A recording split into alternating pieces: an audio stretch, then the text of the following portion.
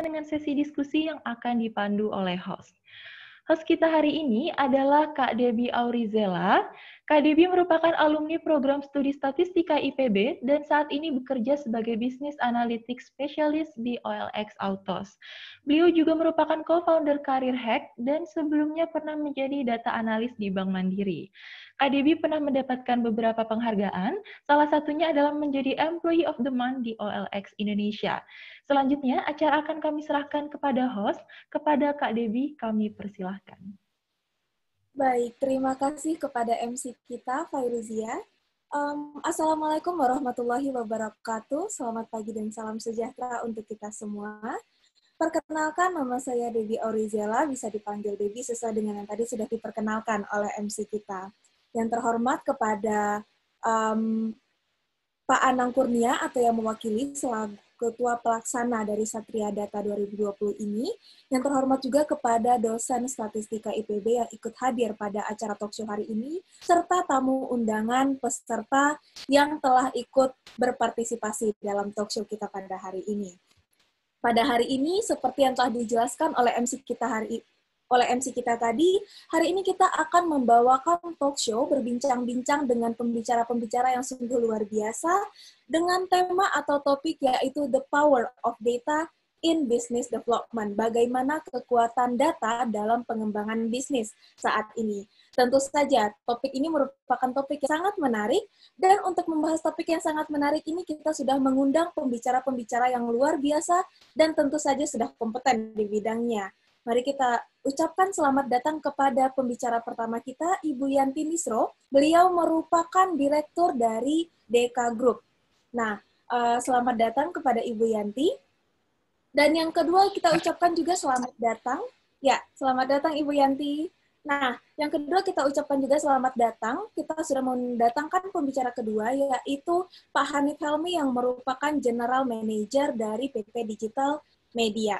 Begitu. Nah, sebelum kita berbicara atau langsung berbincang-bincang dengan Ibu Yanti, mungkin kita ulik sedikit ya, bagaimana topik tentang power of data in business development. Nah, topik ini merupakan topik yang sangat menarik yang dipilih oleh tim Satria Data tentang pengembangan atau pengolahan data, penggunaan data dalam pengembangan bisnis. Seperti yang teman-teman ketahui semuanya bahwa data merupakan alat yang penting dalam berbagai aspek kehidupan dalam berbagai level. Nah, mungkin uh, panitia bisa mundur dulu uh, slide-nya. Kita ulik sedikit dulu ya tentang topiknya, baru nanti kita uh, bacakan CV tentang pembicara kita yang sudah luar biasa ini. Nah, jadi the power of data in business development, bagaimana penggunaan pengolahan data dalam mengembangkan bisnis. Data merupakan alat yang penting dalam berbagai aspek, dan dalam berbagai level, dari level rumah tangga, dari level perusahaan, serta level negara membutuhkan data untuk menentukan apa langkah tepat di masa depan. Nah, terkhusus di bidang bisnis nih, teman-teman Bapak Ibu sekalian, data merupakan bahan bakar baru dalam menentukan keputusan-keputusan bisnis. Banyak contoh-contoh yang sudah dilakukan seperti pengolahan data dalam pemasaran produk, pengolahan data dalam mengerti tentang consumer behavior, hingga pengolahan data dalam memprediksi kebutuhan masyarakat di masa depan. Nah, tentu saja pengolahan data ini tidak terlepas dari penerapan statistika. Nah, penerapan statistika ini dan pengolahan data mungkin belum terlalu familiar di berbagai kalangan. Oleh karena itu, Satria Data 2020 membawakan topik tentang power of data in business development agar semua dapat mengembangkan wawasannya tentang pengolahan data tersebut. Nah, untuk pembicara hari ini kita sudah mendatangkan pembicara pertama yaitu Ibu Yanti Misro. Mungkin bisa ditampilkan slide-nya, Pak Divya.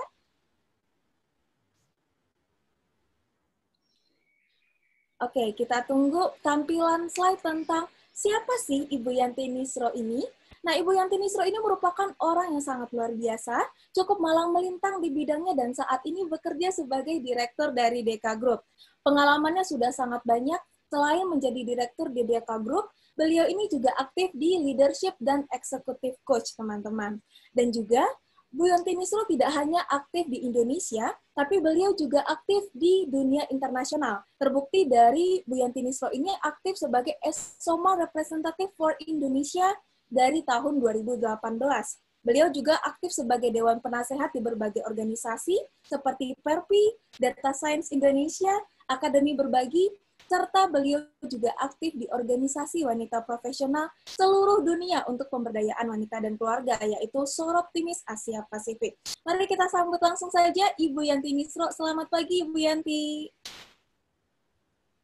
Selamat pagi, terima Selamat kasih. Pagi. Sungguh sangat figur yang luar biasa yang sudah didatangkan ya Bu ya oleh Satria Data 2020. Terima kasih Ibu sudah ikut hadir membagikan ilmu-ilmunya kepada peserta Satria Data 2020 ini. Bagaimana kabarnya Ibu Yanti? Luar biasa. Saya kalau Wah, luar biasa. Wah, semangat lagi. Oke deh. Nah, sebelum kita bincang-bincang nih Bu Yanti, mungkin kita bisa ambil foto bersama dulu sebagai dokumentasi dari tim Satria Data 2020. Mungkin untuk panelis-panelis atau untuk Boleh, dari Satria Data, ya bisa uh, open kamera supaya kita bisa uh, take dokumentasi bersama-sama. Panitia mungkin bisa disiapkan ya untuk uh, dokumentasinya. Oke, kita semua berpose semangat pagi. Satu, dua, tiga. Oke, sekali lagi. Satu, dua, tiga. Oke, terima kasih Panitia. Terima kasih Bu Yanti. Nah, Loh, oke. Jadi mungkin hari ini kita akan berbincang-bincang dengan Bu Yanti. Kalau saya lihat Ibu Yanti ini merupakan orang yang sudah malang melintang di dunia market research. Bukan hanya di Indonesia, tapi juga di dunia internasional. Nah, sekarang kita pengen menggali ilmu dari Bu Yanti. Bagaimana sih sebenarnya pandangan Ibu Yanti tentang pengolahan data atau pengembangan bisnis. Apalagi di posisi Bu Yanti sekarang sebagai direktur di Deka Group. Nah, dari pengalaman Bu Yanti sendiri nih Bu, bagaimana pasti Bu Yanti sudah menerapkan berbagai ilmu untuk mensupport pekerjaan Bu Yanti. Apakah menurut Bu Yanti ilmu statistika terpakai dalam support pekerjaan Bu Yanti sebagai market research saat ini di Deka Group atau bagaimana Bu? Mungkin banyak yang penasaran tentang penerapan ilmu statistika. Silakan Ibu Yanti. Terima kasih Mbak Debbie kebetulan saya juga dari backgroundnya dari statistik ya, apa lulusan statistik IPB juga. Uh, Wah, tapi sudah beberapa tahun yang lalu. um, jadi um, mungkin saya salah satu apa juru, lulusan statistik mungkin salah satu pionir atau pertama yang di market research uh, yang pasti kayaknya uh, stati, lulusan statistik pertama di Nielsen. wow. um, dulu saya sebelum join di Deka saya di Nielsen. Jadi um, apa namanya kalau ditanya apakah statistik itu terpakai di uh, dunia bisnis gitu ya, sangat terpakai. Ya, uh, kenapa saya ada di market research ya uh, puluhan tahun? Itu karena di situ kita melihat bagaimana peran statistik dalam um, dunia market research automatically ya dan juga dalam pengambil keputusan dalam dunia bisnis. Nggak hanya di bisnis tapi juga di pemerintah gitu ya. Jadi contohnya adalah bahwa kadang um, pemerintah kan nggak punya semua data. That's why data is uh, important. Jadi uh, pemerintah suka meminta kami dari market research untuk sharing mengenai data ekonomi misalnya tentang Indonesia uh, untuk membuat membuat keputusan pemerintah. Jadi artinya bahwa tidak hanya di bisnis bahwa uh, yang kita lakukan juga membantu pemerintah dalam hal ini ya. Uh, nah kemudian mungkin saya bisa share untuk menjawab pertanyaannya Mbak Debbie saya share uh, itu ya uh, PowerPoint. Iya, silakan. Ya. Um, jadi untuk menjawab tadi kenapa uh, berapa seberapa penting statistik itu di dunia bisnis. Bentar, kenapa belum? Nah, jadi uh, karena saya di market research, saya akan share dulu apa itu market research dan seberapa uh, signifikan atau pentingnya statistika di market research. Jadi market research sendiri sebenarnya adalah simpelnya adalah aktivitas yaitu pengumpulan informasi tentang konsumen ya. Bisa kebutuhannya bisa kemudian pilihannya lifestyle-nya dan sebagainya. Yang uh, dipakai oleh para klien untuk pengambil keputusan. Karena kebanyakan uh, sebelum kita mengambil keputusan kan harus tahu dulu di customer-nya atau konsumennya seperti apa. Nah, di situlah uh, market research uh, ber, apa, berkontribusi dan uh, yang memakai ilmu statistiknya. Nah, ini contohnya nih, bagaimana uh, market research itu bisa contribute di bisnis. Jadi itu uh, kan dalam dunia bisnis tuh bisa mengeluarkan produk baru atau pakai produk yang sudah ada gitu kan. Kemudian di existing market atau di new market itu masing-masing uh, bidang itu ada uh, tujuannya tersendiri dan atau metode yang dipakai. Jadi misalnya kalau mau produk baru tapi di existing market berarti kan market research itu untuk melihat uh, kemungkinan mengadopsi produk-produk baru yang dibutuhkan oleh market yang ada tuh apa ya, bagaimana ya gitu. Atau di existing market uh, dan uh, customer satisfaction-nya apakah sama, menaik atau menurun, bagaimana di compare dengan kompetisi supaya kita menjadi uh, nomor satu terus atau top 10 terus di market, gimana caranya? Nah itu harus dikontrol terus.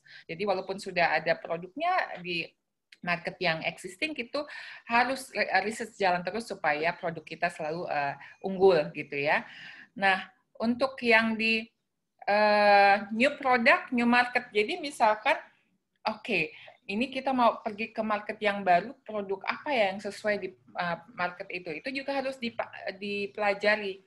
Uh, apa namanya konsumennya behaviornya seperti apa, uh, produk yang uh, dimauin apa dan sebagainya itu mesti disurvey juga existing product di new market kalau mau ekspansi. Oke, okay, saya mau uh, ekspansi ke Papua. Terus apa ya yang uh, supaya bisa sukses di sana bagaimana caranya harus tahu apa yang mereka suka dan sebagainya. Jadi artinya bahwa tadi market research dibutuhkan di segala tahap bisnis dan di situ uh, bagaimana kemudian uh, nah statistiknya di mana tuh gitu.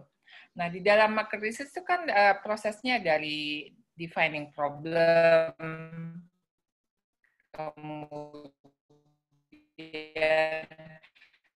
develop uh, desain menganalisa, baru kemudian what is the action atau suggestion ke kliennya. Nah, di setiap proses itu di situ uh, statistik diperlukan. Jadi even ketika oke okay, define problem, ada problemnya apa, uh, isunya apa di uh, apa dalam uh, apa desain research itu juga sudah dimasukin tuh statistiknya. Jadi bagaimana nanti apa analisa apa yang dibutuhkan, hipotesa apa yang uh, uh, perlu kita nanti uh, discuss atau uh, dianalisa, kemudian samplingnya seperti apa, segmentasinya seperti apa dan sebagainya. Jadi pengumpulan data kan market research itu um, survei ya, jadi artinya bukan sensus, jadi artinya bagaimana untuk bisa melakukan sampling tapi mewakili populasi. Itu juga butuh uh, tools statistik ya. Jadi artinya bahwa statistik itu dibutuhkan di sangat sangat. Dan tidak hanya di market research ya tapi di sekarang ini bahkan kalau saya bilang statistik itu is a basic. Jadi artinya nanti um, Anda mau masuk teman-teman mau masuk di bidang apa pun statistik itu basic. Jadi tidak hanya uh, di melakukan market research, tapi bahkan di client side, Anda sebagai decision making nanti jadi CEO atau jadi direktur, you have because everything is based on data ya. Jadi artinya bahwa is not only certain role, tapi bahwa any many roles itu uh, you have to have statistic as your basic uh, skills. Mudah-mudahan menjawab ya. Sangat menjawab Ibu Yanti. Jadi tadi tidak hanya dijelaskan nih oleh Bu Yanti bagaimana peranan statistik, tapi juga diberikan gambaran market research itu seperti apa, apa peranan market research di pasar, mulai dari mau kita launching new product, existing product, expand to existing market, atau open a new market, itu dijelaskan oleh Bu Yanti. Jadi ya. bagaimana peranan statistik dalam market research itu kita dapat konteksnya di market research itu apa. Seperti itu. Jadi teman-teman ternyata penerapan metode statistika atau penerapan ilmu statistika itu sendiri terhubung dalam berbagai langkah-langkah yang ada di market research mulai dari defining problemnya, hipotesanya apa, problem apa yang mau dijawab, analisa apa yang mau kita gunakan, sampling seperti apa yang mau kita pakai, itu semua menerapkan ilmu-ilmu statistika ternyata ya Bu Yanti ya. Iya. Nah, kalau tadi kita sudah ngomongin nih tentang penerapan ilmu statistikanya. Nah, sekarang kalau misalnya orang-orang bilang data itu adalah bahan bakar baru, new currency, new oil. Banyak sebutan eh, sebutan-sebutan untuk data yang bilang data itu penting nih Bu Yanti. Nah, kalau di perjalanan karir Ibu Yanti Nisro sendiri di market research khususnya sekarang di DK Group, bagaimana sih Bu peranan data itu sepenting apa dalam perkembangan bisnis sebuah perusahaan untuk peranan data itu sendiri. Mungkin bisa dijelaskan Ibu Yanti. Terima kasih. Oke, okay. ya, yeah, thank you. Nah, kalau dulu kan dibilang bahwa yang punya um, senjata itu atau yang punya uang, yang punya senjata itu adalah yang punya power. Nah, sekarang adalah yang punya data has the power. Ini adalah quote dari Tim O'Reilly. Tim O'Reilly itu uh, adalah yang ini, uh, yang uh, mempopulerkan istilah open source uh, dan web 2.0. Tapi yang penting ini quote ini sangat apa makjleb sangat benar gitu bahwa now is not uh, power, is not gun, is not senjata dan sebagainya tapi data. Who has the data has the power. Nah, saya ingin share ini adalah bagaimana saya suka share ini. Jadi bagaimana satu menit impact-nya terhadap uh, data yang dikumpulkan. Dalam satu menit, ada 1,3 juta yang login uh, ke Facebook. Dalam satu menit, ada 764 ribu uh, yang nonton Netflix dalam satu menit ada 4,7 juta yang non, uh, video ditonton di YouTube dan seterusnya. Dalam satu menit ada 1,6 juta swipe di Tinder. Ayo di sini siapa yang punya Tinder? Jadi uh, maksudnya itu bagaimana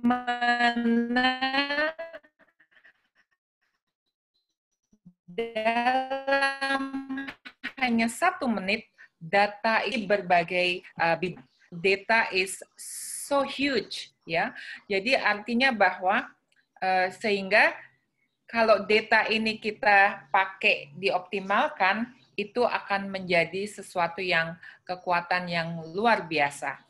Uh, makanya di sini saya uh, sarankan teman-teman nggak nggak promosi ya, tapi kebetulan saya kan advisor di Data Science Indonesia ya itu di, di mana itu adalah mungkin teman-teman ada yang sudah tahu gitu itu organisasi anak-anak muda yang belajar mengenai big data.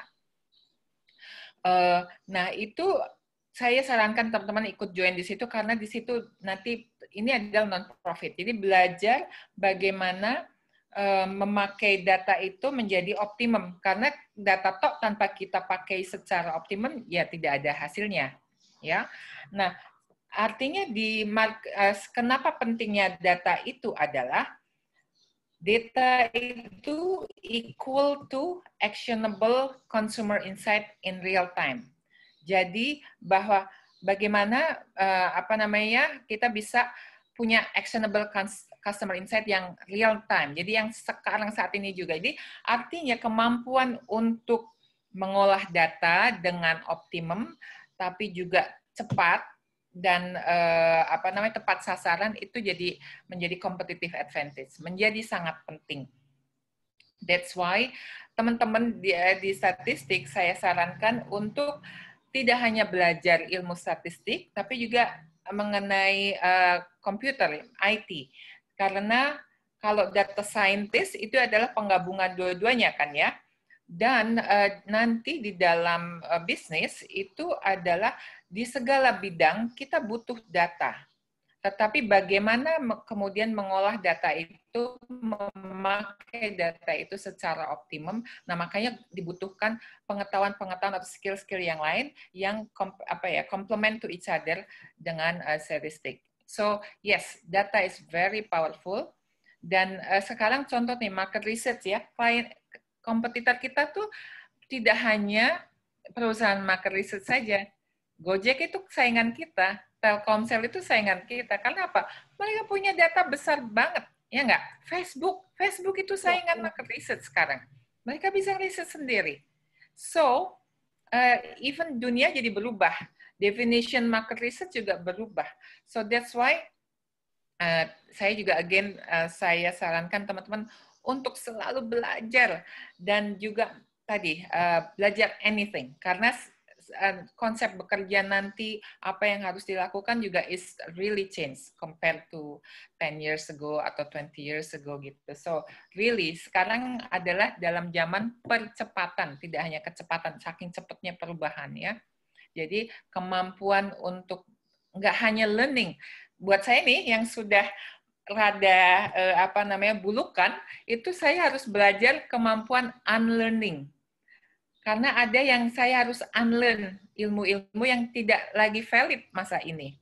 Untuk tadi um, melihat data dari uh, apa ya sudut pandang yang beda, bagaimana bagaimana mengoptimisasikan same thing with statistical analysis atau uh, tools. Ada yang mungkin sudah nggak valid. Sebagai contoh adalah gini nih, ini sekarang di zaman uh, corona ya, zaman COVID-19 uh, untuk di market research untuk pergi ke lapangan rada susah kan? Untuk melakukan pure random sampling itu susah karena satu uh, ada daerah-daerah yang kita tidak bisa masukin karena uh, protokol kesehatan, ya nggak? Uh, kemudian sekarang banyak yang uh, apa tinggal di apartemen, which is nggak bisa pergi ke saat masuk ke apartemen kalau bukan uh, apa yang tinggal di situ. Dan banyak uh, halangan ya. Dan sehingga sekarang banyak di online research. Itu kan juga cara cara melihat statistik how to do proper online research juga jadi beda something like that. Bahkan sekarang uh, teman-teman mungkin ada yang tidak tahu doing research sekarang di uh, Eropa uh, bot jadi uh, apa namanya diinstal uh, Alexa ya uh, di konsumennya itu. Jadi mereka sistem nanyanya nggak pakai questionnaire lagi, tapi pakai uh, voice. Jadi what are you doing? Kamu lagi ngapain? Oh lagi shaving, lagi session pakai robot Alexa. Nah itu pengumpulan data yang baru lagi kan? bagaimana tuh secara statistik itu bisa valid, bisa mewakili uh, apa namanya konsumen dan bisa bermanfaat buat klien. Nah, those things, teknologi dan sebagainya itu kita harus catch up karena kalau nggak ketinggalan. So that's why tadi Mbak Debbie uh, tanya kenapa saya aktif di di luar di internasional juga adalah supaya kita selalu catch up semua teknologi itu. Dan kenapa saya walaupun aduh sebenarnya lumayan uh, ini juga ya menyita waktu dengan uh, aktif di berbagai organisasi.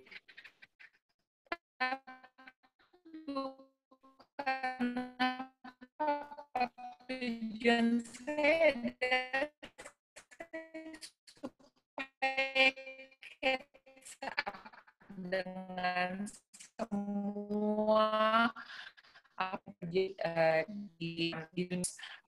harus uh, ya dengan yang lainnya gitu. Jadi so is I really uh, encourage teman-teman semua untuk semangat untuk belajar untuk uh, apa menimba ilmu sebanyak-banyaknya karena sekarang banyak banget yang saya aja masih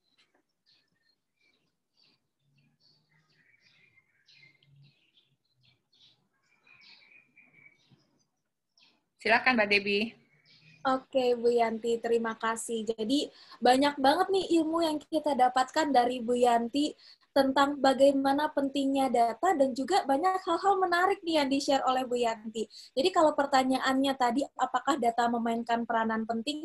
Yes, memainkan peranan penting. Terbukti dari aliran data saat ini yang Bu Yanti sangat kencang, sangat deras dan huge volume. Jadi bukan hanya kencang, bukan hanya deras, tapi volumenya juga sangat gede.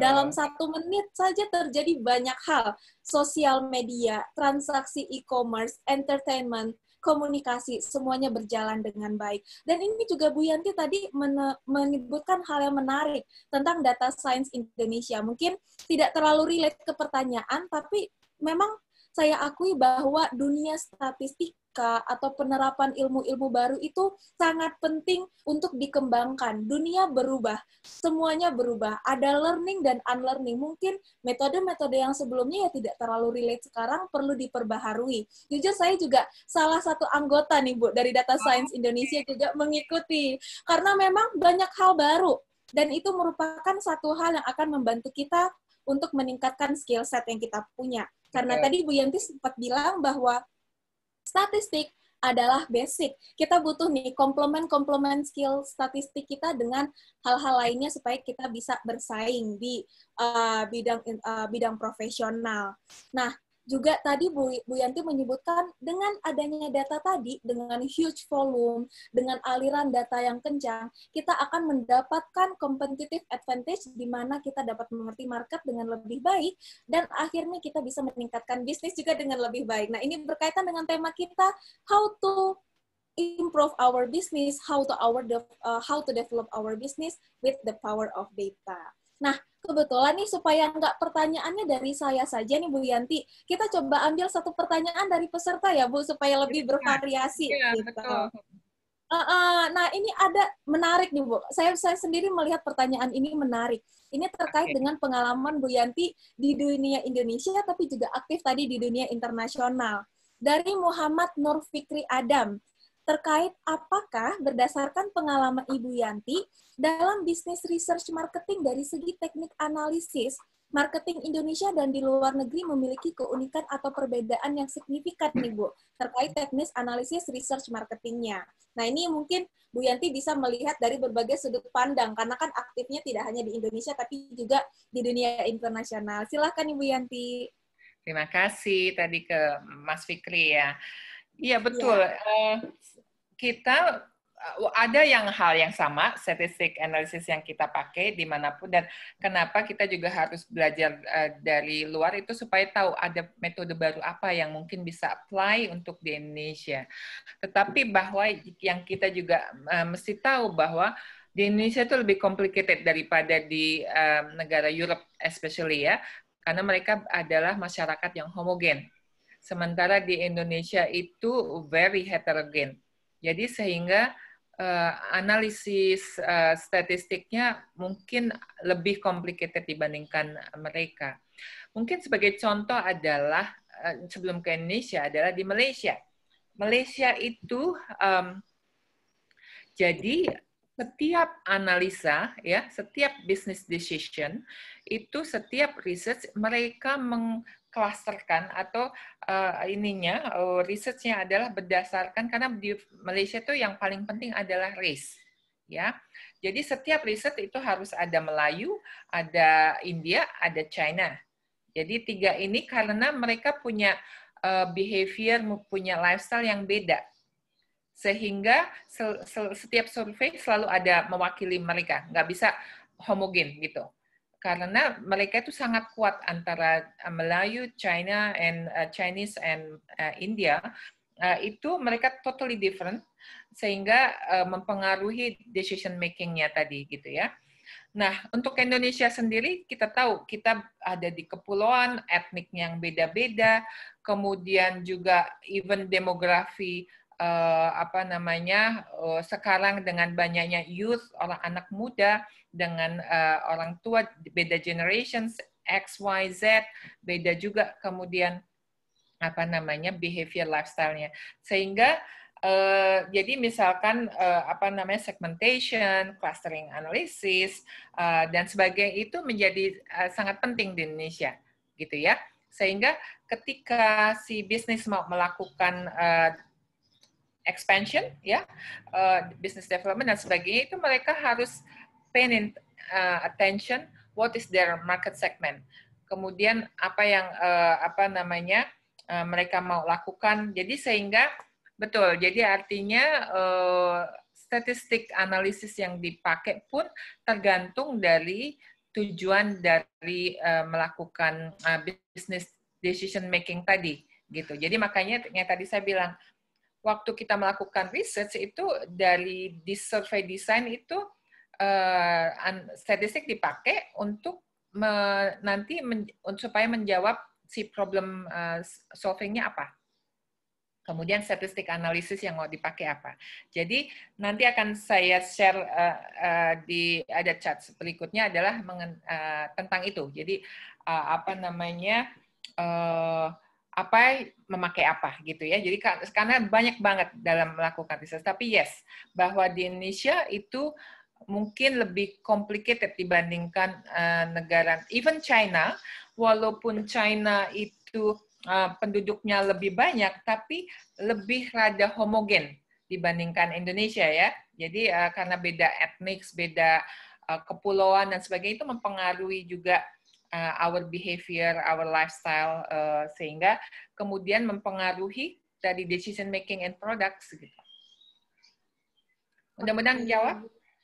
Ya, sangat menjawab ya. Jadi um, kalau bisa kita summary ini untuk Muhammad Fik Nur Fikri Adam. Pertama terima kasih dulu nih untuk pertanyaannya. Jadi kita bisa lebih broad discussion-nya gitu ya. ya. Nah, jadi kalau tadi uh, Ibu Yanti menjelaskan bahwa memang setiap negara itu tergantung sama karakteristiknya. Apakah homogen, apakah heterogen, nanti jadi problemnya apa, baru analisisnya seperti apa sesuai dengan karakteristik atau problem yang ingin kita solve. Seperti Indonesia tadi Ibu Yanti bilang memang kita heterogen, banyak keras, banyak banyak uh, umur-umurnya berbeda, segmen-segmennya berbeda, jadi market segmentation penting. Kalau di Eropa mungkin beda lagi permasalahannya. Di Malaysia yep. beda lagi, di China beda lagi. Jadi memang setiap negara karakteristiknya berbeda dan juga nanti teknik approach discussion atau analisisnya juga berbeda. Terima kasih, semoga bisa uh, memperluas wawasan ya seperti tujuan dari Satria Data ini memperluas wawasan tentang penggunaan data. Terima kasih Muhammad Nur Fikri Adam. Nah, sekarang lanjut sama pertanyaan saya kali ya Bu ya. Tadi okay. sudah disela dengan pertanyaan yang lain, coba kita lanjut dengan pertanyaan selanjutnya nih.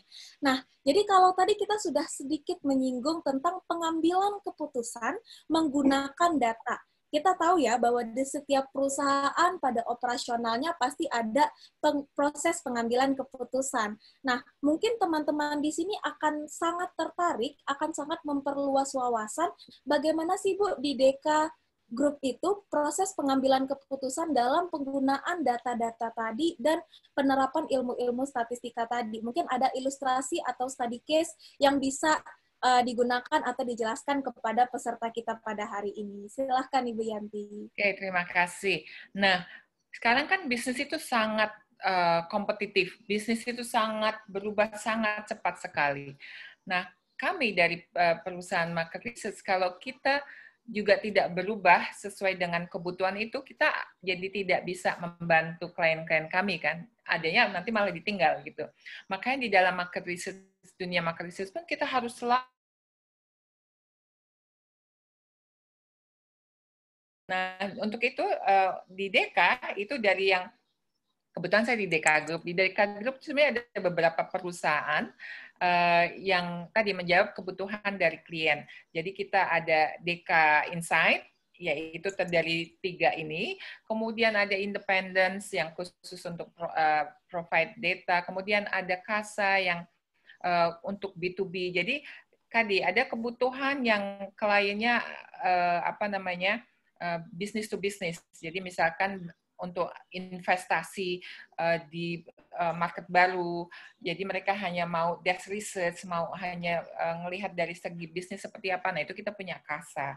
Atau dari uh, retailnya seperti apa. Nah, makanya kenapa kita pun jadi punya beberapa sub bisnis uh, perusahaan karena sesuai menjawab kebutuhan uh, pasar atau kebutuhan klien. Nah, di DK sendiri, DK Insight, itu kita sekarang sudah ada tiga uh, divisi, yaitu uh, DK Insight, DK Strat, dan DK Up. Apa itu? Jadi DK Insight itu khusus untuk yang kebutuhan research dan insight, tetapi kemudian kalau ada klien uh, pengen lebih uh, dalam lagi untuk konsultasi uh, sebagai kon, um, minta kita sebagai konsultan dalam marketingnya, makanya kita punya Dekastrat, yaitu Strategic Advisory and Transformation. Jadi kalau tadi klien sekarang harus bertransformasi, jadi tidak hanya melakukan butuh research uh, apa uh, topik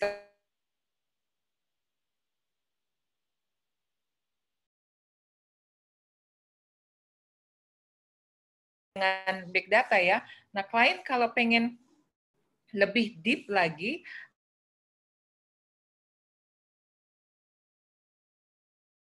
sebagainya itu kita punya dig up analytics yaitu analytics and machine learning. Nah dari sini aja maka itu sudah eh, berubah bukan?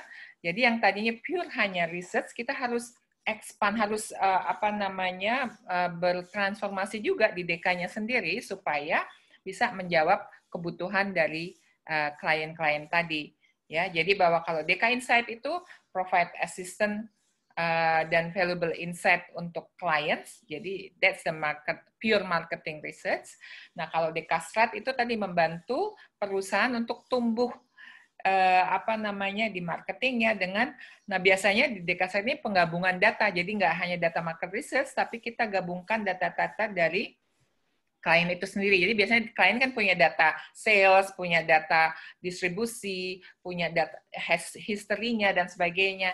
Nah itu uh, yang kemudian kita gabungkan untuk supaya bisa memberikan uh, comprehensive analisis kepada klien. Nah kalau dig up tadi yang saya bilang, jadi membantu kalian kalau mau tumbuh cepat gimana sih? Um, nah itu nanti kita bikin kayak machine learning algorithm untuk kemudian uh, diinstal di klien supaya klien bisa predik kalau saya ada beberapa faktor saya uh, tambah misalkan uh, budget untuk iklan segini uh, berapa sih sales yang akan uh, apa namanya naik dengan gitu. Nah itu ada ada algoritmnya. Nah itu semua pakai statistik semua gitu. Jadi artinya that's how kita pun berevolusi uh, adjust dengan kebutuhan uh, klien tadi. Nah, ini so, ini adalah lebih detailnya lagi. What kind uh, jadi sebenarnya kan research itu tujuannya either planning atau problem solving atau controlling ya. Planning itu kalau sebelum uh, punya produk baru, sebentar saya nyalain uh, baterainya mau habis. nah, jadi kalau planning itu kalau kita mau baru mau uh, launch produk dan sebagainya. Problem solving adalah kalau uh, kemudian ternyata ada uh, produk kita uh, tiba-tiba turun gitu. Nah, atau ada masalah yang kita harus uh, cari solusinya. Kemudian controlling kalau misalnya kita sudah di atas nih, tapi supaya make sure kita ada di atas terus, gimana tuh caranya? Nah itu research-nya juga macam-macam. Reasonnya lain-lain tergantung uh, tadi stage stage-nya. Jadi stage planning itu ini jenis-jenis research-nya. Kalau problem solving ini jenis-jenis research-nya. Kalau controlling ini jenis-jenis research. Jadi it's very very advanced, a bit complicated ya. Jadi banyak banget research itu dan semua ini semua research butuh statistik.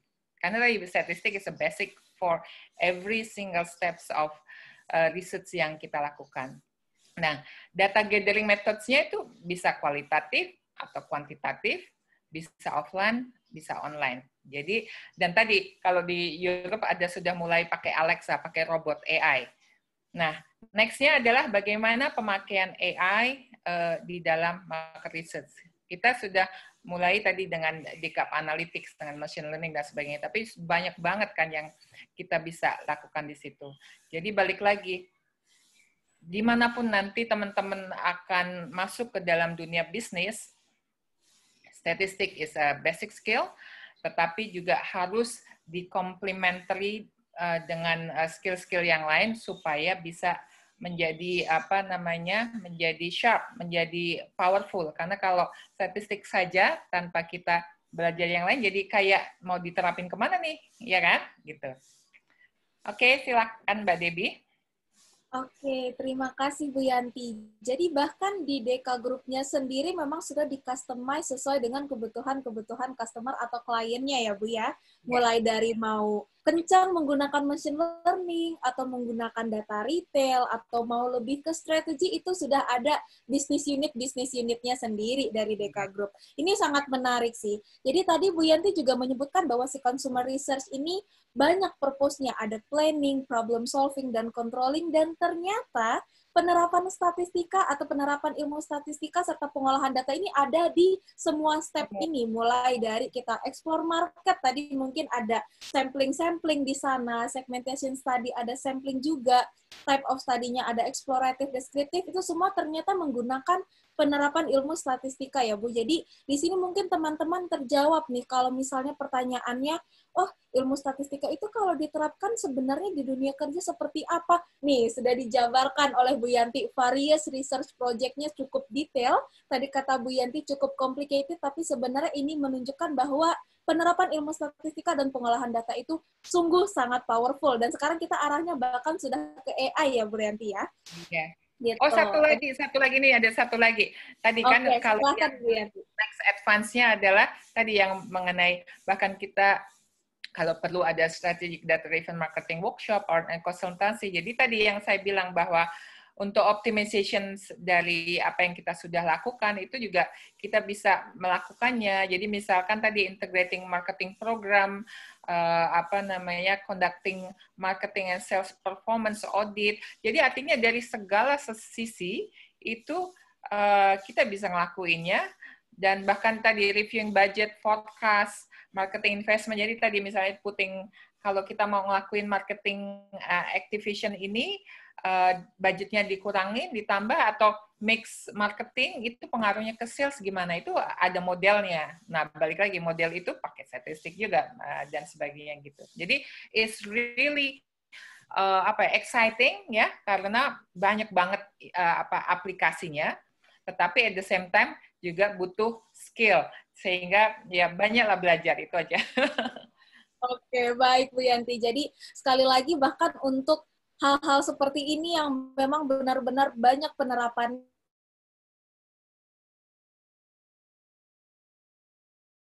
ada skill set skill set komplementari yang memang butuh kita gunakan, butuh kita pelajari agar skill setnya itu komplit 360 derajat supaya bisa diterapkan. Seperti tadi yang Bu Yanti bilang, kalau kita hanya menguasai statistiknya saja nih, mau ditaruh di mana statistiknya kalau tidak ada complementary complementary skill setnya yang tadi seperti yeah. itu.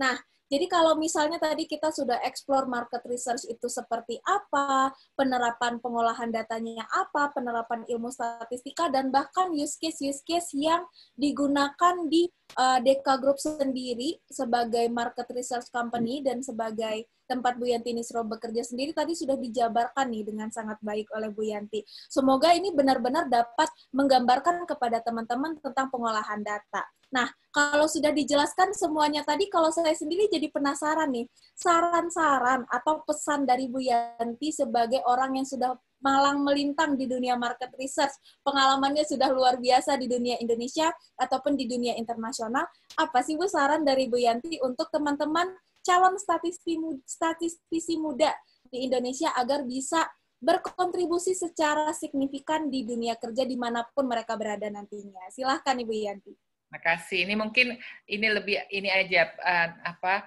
nasihat dari yang uh, lebih tua ya. Kalau mungkin belum tentu lebih bagus, tapi lebih tua aja dari teman-teman gitu ya. Dari pengalaman saya uh, apa namanya uh, berapa berapa dekade di dunia bisnis gitu ya. Nah ini ini yang saya sangat ada lima deh lima ya. Saya kasih nasihatnya lima. Satu, be open minded. Tadi yang saya bilang, be open minded. Jangan uh, eksklusif, jangan hanya uh, tahu mikirin ini, tapi belajar banyak banget. Karena itu tadi, the more you learn, the more you become hungry ya. Kalau kata Steve Jobs, be foolish, be hungry jadi pokoknya jangan merasa keminter karena begitu teman-teman merasa pinter itu bahaya. Kalau kita merasa pinter terus tiba-tiba jadi nggak malas belajar kan kalau udah pinter. Tapi kalau kita merasa bodoh, stay foolish, stay hungry, wah semang saya itu tiap hari tiap hari uh, itu padahal umur umur saya udah kepala lima ya. Setiap hari itu saya punya jatah 30 menit sampai satu jam untuk belajar hal baru. Makanya tadi kan saya uh, sekarang saya nambah nih role-nya tidak hanya sebagai market researcher, saya sebagai coach. Jadi saya punya klien uh, yang coaching ke saya mengenai life, mengenai apa. Nggak ada hubungannya dengan statistik, but belajar. Ya, belajar bisa anything. Tapi for sure nanti pada akhirnya all related. Kayak apa? Uh, ini apa knowing the dot gitu ya. Jadi bahwa ternyata semua berkaitan. Jadi be open minded. Never feel uh, pinter, never feel enough, uh, apa selalu hungry. Nah, saya dengan, pergaulan di dunia internasional ini dan uh, kebetulan di market research sendiri aja itu susah banget cari orang Indonesia yang di level director.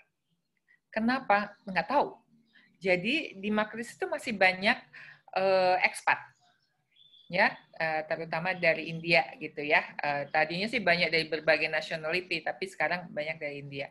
So the question is, where is the Indonesian people? I'm very nationalistic kalau masalah ini. Kenapa? Kenapa saya mau aktif di dunia internasional itu sebenarnya adalah mau nunjukin, buktikin orang Indonesia itu bisa, orang Indonesia itu bisa tampil gitu. Bukan apa-apa, itu aja kalau saya uh, apa namanya kenapa saya aktif di uh, dunia internasional gitu. Jadi ini adalah faktor sangat krusial, be confident. Orang Indonesia itu banyak yang pinter, tapi nggak confident, nggak berani tampil.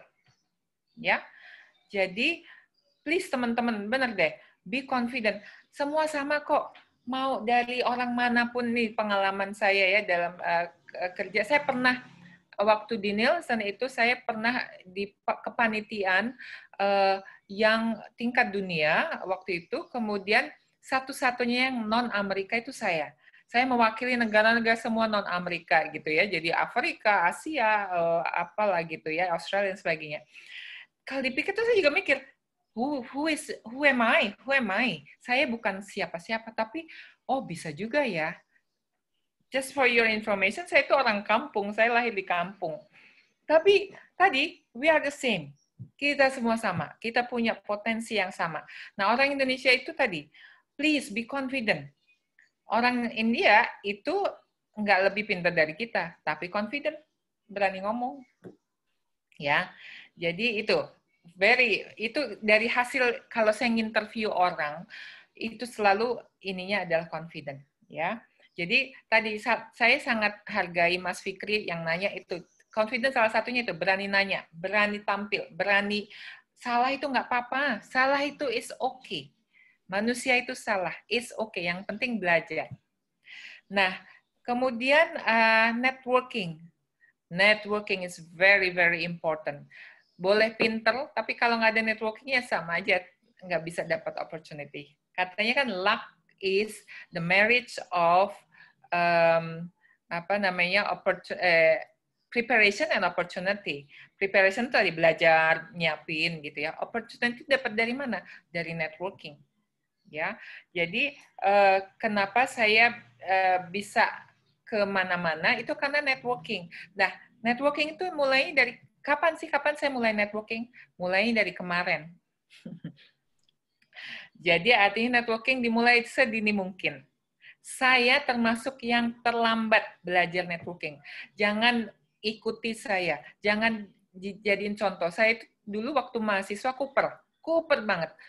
Baru lulus kuliah, baru, ah saya nilainya biasa-biasa aja, nggak punya teman, benar. Itu dulu.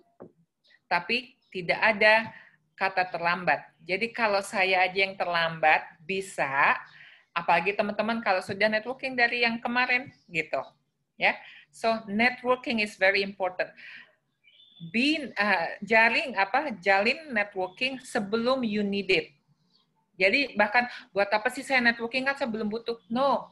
Itu membangun networking itu dari muda dari dari tidak membutuhkan. Karena when you create networking you have to be sincere juga. Harus harus harus uh, tulus. Kalau hanya uh, apa naik hanya ketemu orang kalau butuh itu namanya nggak tulus. Orang juga jadi nggak mau kan di networking dengan orang nggak tulus, right? So, uh, ada quote nih, uh, bahwa bukan berapa yang kamu kenal. Jadi, oh saya kenal banyak, uh, apa namanya, saya kenal, saya tahu banyak orang. Tapi berapa banyak orang kenal kamu. Itu yang the more important. Oke, okay? so, then next adalah be agile. Maksudnya adalah bahwa sekarang ini kan tadi FUKA, banyak teman-teman mudah-mudahan udah tahu FUKA ya. Jadi bahwa dunia ini percepatan banyak berubah dan sama sama sekali. Artinya apa? Be agile. Kita jangan eh, kaku, harus fleksibel, agile. Kebutuhannya sekarang ini ya kita kayak tadi saya bilang cerita Deka kita jadi berubah itu karena be agile. Nah, supaya bisa agile, kita jangan ngomong-ngomong maksudnya dalam arti supaya kita bisa lincah jadi uh, agile itu bisa dimulai dari sekarang teman-teman, dari yang fisik sampai ke mental. Jadi contoh misalnya saya mencoba being agile dari fisik. Saya hobinya jalan kaki, naik sepeda, naik gunung, mau naik karena sering traveling ke luar negeri ya naik pesawat gitu. I do all of them. Ya, I, saya uh, janji nih minggu depan mau jalan naik sepeda dari Jakarta ke Bogor sama suami saya. And it's okay, it's fun gitu. Nah itu untuk melatih saya eja. Mindset tadi kemarin saya ditanya sama Mbak Cici, uh, Bu nanti ditanya dibilangnya Ibu Mbak atau apa? Buat saya it doesn't matter panggil saya nama Yanti juga nggak masalah buat saya. It's okay karena I feel young gitu. Jadi be agile, selalu tadi apa namanya mengadjust dengan keadaan. Nah, yang terakhir adalah ini sangat penting buat teman-teman para statistik yang ahli data. Ahli data is one thing, tetapi kemudian bisa mengconvert data itu menjadi storytelling. Karena sekarang adalah di yang lagi in yang uh, temen, uh, apa untuk presentasi adalah storytelling.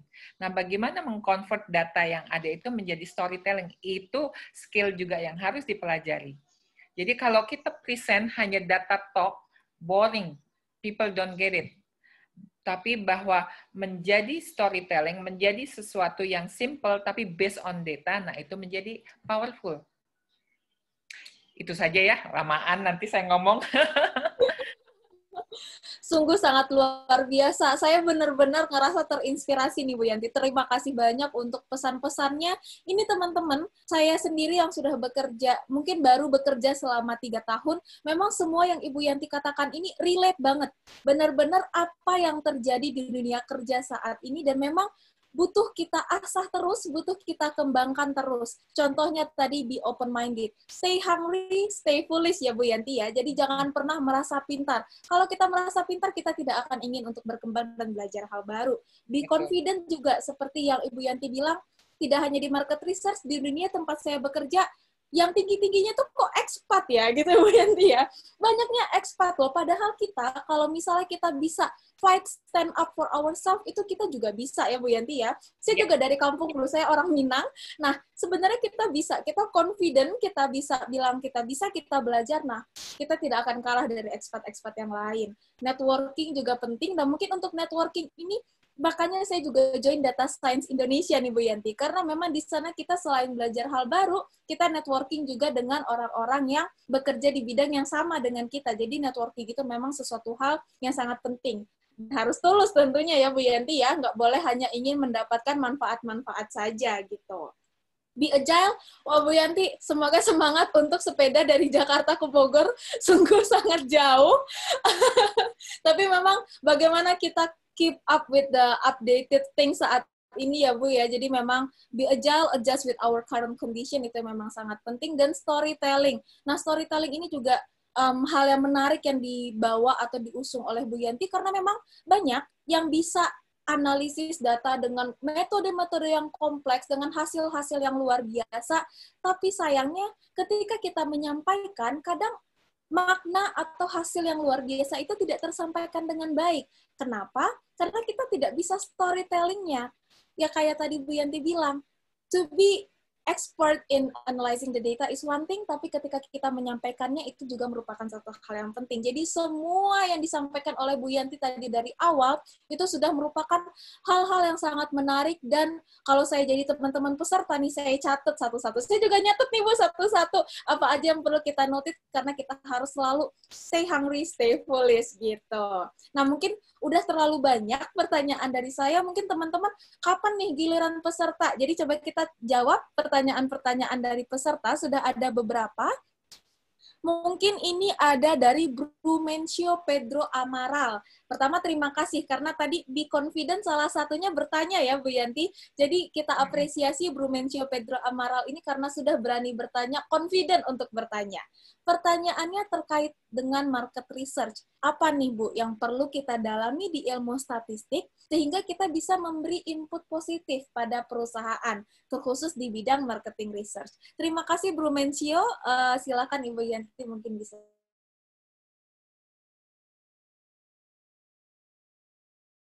saya bilang tadi semua yang tadi saya uh, apa namanya sebut jadi di karena gini even yang saya mention sekarang nanti pas begitu uh, belum mention lulus itu bisa ada lagi yang baru. Ya jadi uh, banyak uh, lihat YouTube banyak ikut sesi-sesi webinar. Karena di situ lah kita bisa tahu ada hal-hal yang baru ya. Nah tapi kalau ditanya di market research ya tadi semua analisis jadi dari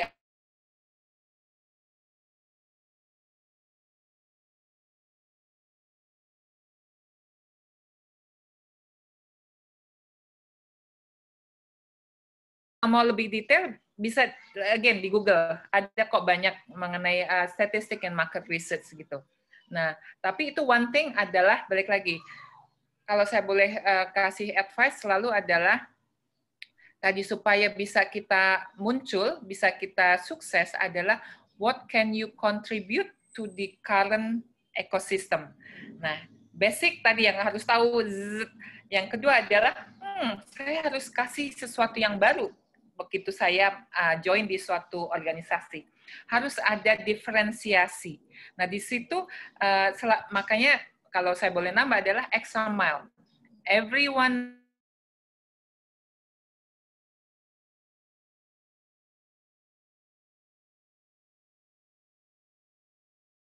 mintanya 70, kasih 80, 90. Always give more. Karena di situlah jadi nilai pembeda kita dengan yang lain. Jadi contoh nih, saya nih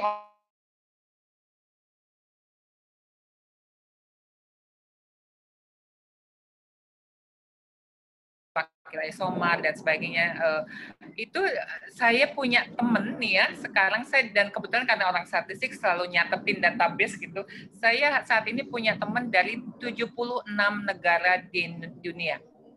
So basically everywhere I go I have friend nah itu saya dapetin dari mana? Dari kegiatan uh, organisasi Soroptimis yaitu uh, organisasi wanita profesional seluruh dunia. Nggak ada hubungannya sama statistik, nggak ada. Karena manusia itu adalah kompleks. Saya statistician, saya market research, saya coach, I'm a, a philanthropist juga. Saya uh, apa aktif di kegiatan sosial. Jadi kalau ada kalau ada apa namanya gempa bumi atau apa, saya biasanya jadi tukang pijat because kebetulan saya belajar healing lah gitu. Nah, why we need to have to know apa itu belajar hal yang macam-macam tadi? Ya itu tadi, we don't know. You can do anything uh, dan semuanya akhirnya related karena teman-teman saya misalnya dari Sort Optimis ternyata bisa ngasih kerjaan juga uh, di market research, butuh market research atau kemudian uh, apalah selalu semuanya related. Jadi tadi jangan eksklusif, jangan belajar hanya satu toh semakin Anda banyak belajar, itu semakin bagus. Dah, itu aja.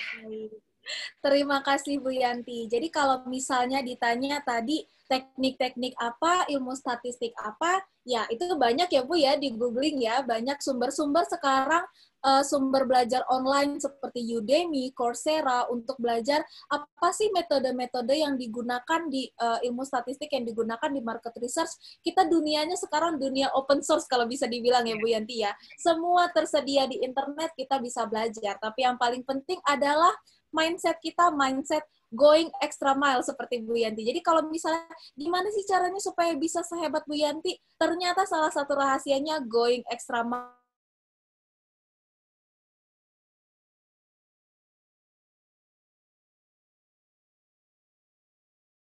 kalau belajar hal baru, kita new things, contribute, karena sebenarnya at the end semuanya akan related to each other. Dan di situlah uh, power kita, karena kita punya banyak hal yang kita pelajari, banyak hal yang bisa kita contribute, maka dari situ kita bisa memberikan sesuatu yang lebih lagi dan kontribusi kita akan nyata di bidang itu, seperti itu. Jadi kalau mau belajar, banyak ya teman-teman, banyak sekali uh, open source open source yang tersedia, tapi keep in mind kalau kita harus selalu belajar hal baru dan going extra mile uh, tidak hanya fokus kepada satu hal saja seperti itu. Terima kasih Bro Mensio ini terima kasih banyak Bu atas penjelasannya dari Bro Mensio Pedro Amaral. Terima kasih juga sudah be confident sudah berani untuk bertanya. Karena di sini kita memang encourage teman-teman ya. Kita di sini talk show. Kenapa kita kemasnya sebagai talk show ya karena tadi kita ingin ini lebih fresh, kita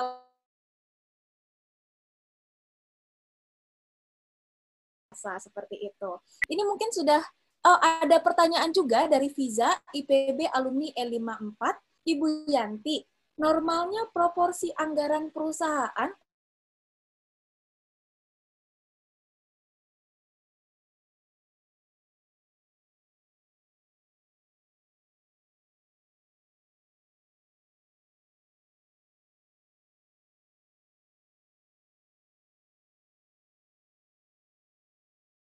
marketing dan market research itu uh, besar banget ya. Uh, karena tadi uh, mereka tadi apa namanya kita melakukan surveinya mesti mendatangin ke seluruh pelosok pulau dan sebagainya. Tapi makin ke sini bisnis makin ketat makin kompetitif. Sehingga klien atau banyak bisnis yang harus mengkat their marketing budget jadi kalau teman-teman sekarang makanya dulu media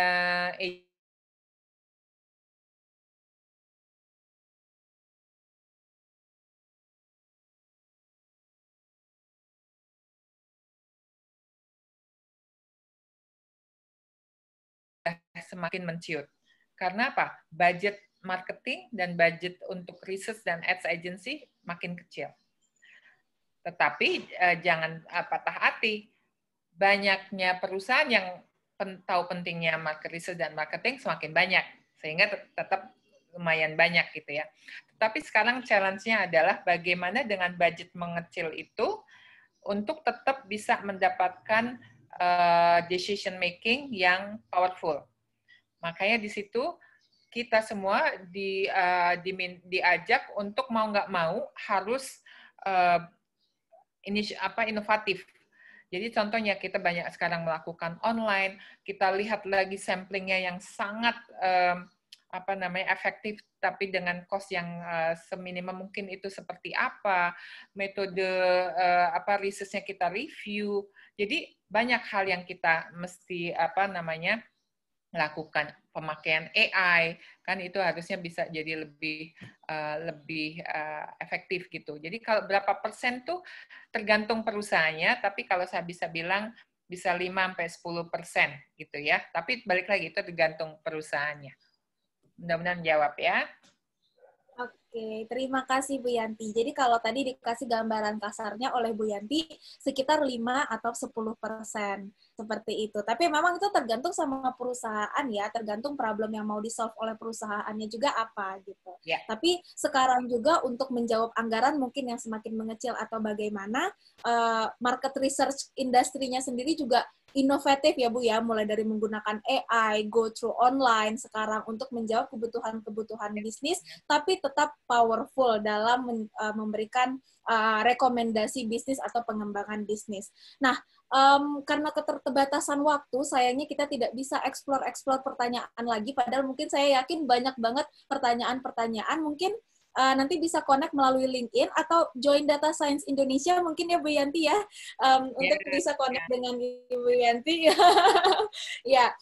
Nah, jadi um, kalau misalnya kita bisa summary, tadi Bu Yanti telah menjelaskan apa itu market research. Sebenarnya fun fact, di angkatan saya Bu Yanti, angkatan statistika 50, 17 orang loh, sekitar 20% dari angkatan saya itu punya pekerjaan pertamanya di bidang market research. Ternyata pionirnya, iya ternyata pionirnya itu adalah Bu Yanti. Terima kasih sudah memberikan kesempatan kepada kita para statistisi muda untuk bisa bekerja di bidang market research Bu Yanti. Sekitar 20% itu jumlah yang cukup banyak. Wow, that's good. Iya, Bu. Nah, jadi tadi kita sudah melihat pengolahan data di market research seperti apa, penerapan statistika, dan pesan-pesannya juga jangan lupa ya, tadi ada be agile, open-minded, confident, networking, dan storytelling, dan lain-lain. Semoga bisa bermanfaat bagi teman-teman statistisi muda atau calon statistisi muda dan dapat mengembangkan wawasan tentang bagaimana power of data in business development. Dari pembicara kita yang luar biasa, Ibu Yanti Nisro. Terima kasih, Ibu Yanti Nisro. Mungkin um, dari panitia ada sedikit souvenir nih, Bu Yanti sedikit okay. souvenir dari panitia, tapi karena keterbatasan waktu, keterbatasan jarak kita hanya bisa secara digital. Tapi ini sudah dibilang thank you for your valuable contribution as a speaker. Wah, ya, sudah bagus sekali didesain oleh tim Satria Data. Bagus. Oke. Okay. Terima kasih. Terima kasih atas kesempatannya. Semoga bermanfaat ya.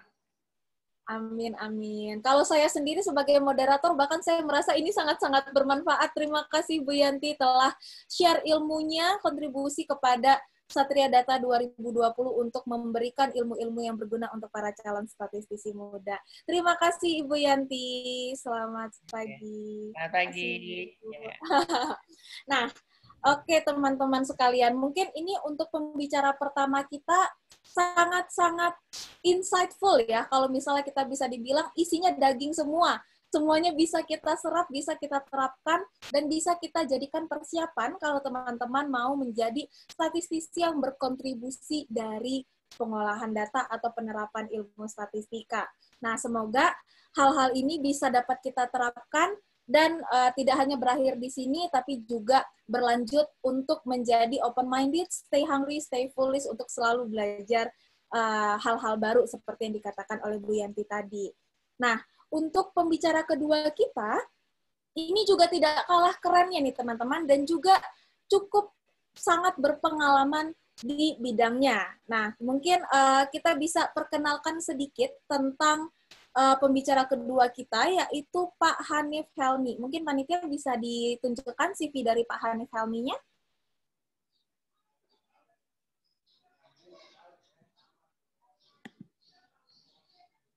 Oke, ini Pak Hanif Helmi sebagai pembicara kedua kita.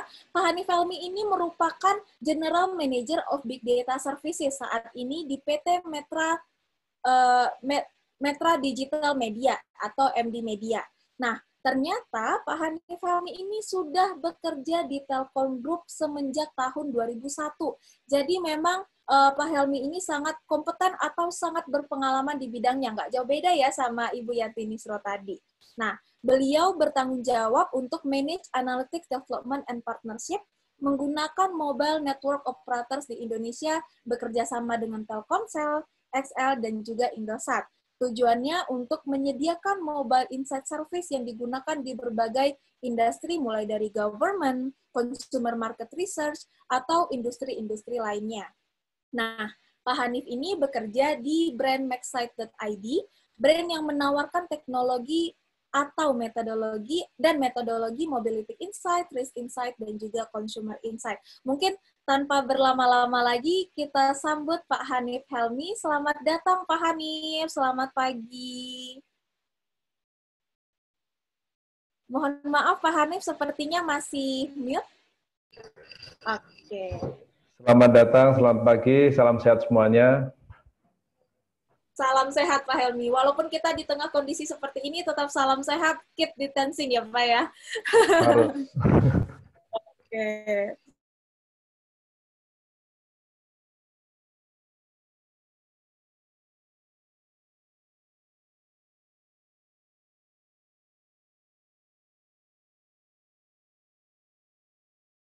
Ilmu-ilmu yang bermanfaat untuk peserta Satria Data 2020 di talk show kita pada hari ini. Nah, mungkin kalau tadi Ibu Yanti Nisro lebih kepada dunia market research, malah melintang sudah beberapa dekade di dunia market research. Sepertinya kalau kita lihat Pak Hanif ini lebih ke dunia digital ya Pak ya. Nah, dunia digital, big data services, dan hal-hal yang berkaitan dengan itu. Nah, kalau misalnya kita boleh bincang-bincang sedikit dengan Pak Hanif, nah menurut Pak Hanif atau dari perusahaan Pak Hanif sekarang bekerja yaitu PT MD Media, menurut Bapak sekarang dunia digital itu seperti apa sih Pak? Kan Bapak sangat uh, ahli di bidang big data services atau tadi ada mobility insight dan lain-lain. Berarti kan perilaku konsumen saat ini memang sudah bergerak ke dunia digital atau sudah shifting ke uh, digital daripada Eh, uh, 10 atau 20 tahun yang lalu. Bagaimana pendapat Pak Hani uh, terkait hal ini? Silahkan Pak Hani. Oke, uh, terima kasih Mbak Debi. Uh, saya panggil kawan-kawan sekalian ya. Dan terima kasih Pak Yanti, uh, insight-nya luar biasa, motivasinya juga luar biasa untuk kita semuanya uh, menjadi apa namanya menjadi spirit untuk kita semuanya. Uh, jadi kawan-kawan sambil saya coba share sesuatu ya. Jadi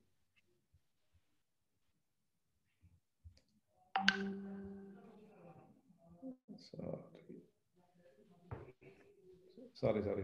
Hmm. ya jadi mungkin di uh, kesempatan bahagia ini saya coba untuk sharing terkait dengan pendekatan baru. Jadi kalau tadi pun juga sudah banyak dimention oleh Mbak Yanti terkait dengan pendekatan baru dalam statistik yang sudah mulai bagaimana memanfaatkan teknologi gitu. Memanfaatkan big data, memanfaatkan banyak uh, unsur-unsur terkait dengan teknologi gitu. Nah, itu semuanya tentunya uh, nggak bisa terlepas dari ya fakta yang sekarang gitu ya, eh, fakta-fakta digital sekarang yang di mana mungkin kalau versinya WR sosial yang sering kita lihat seperti ini, populasi Indonesia 272, tetapi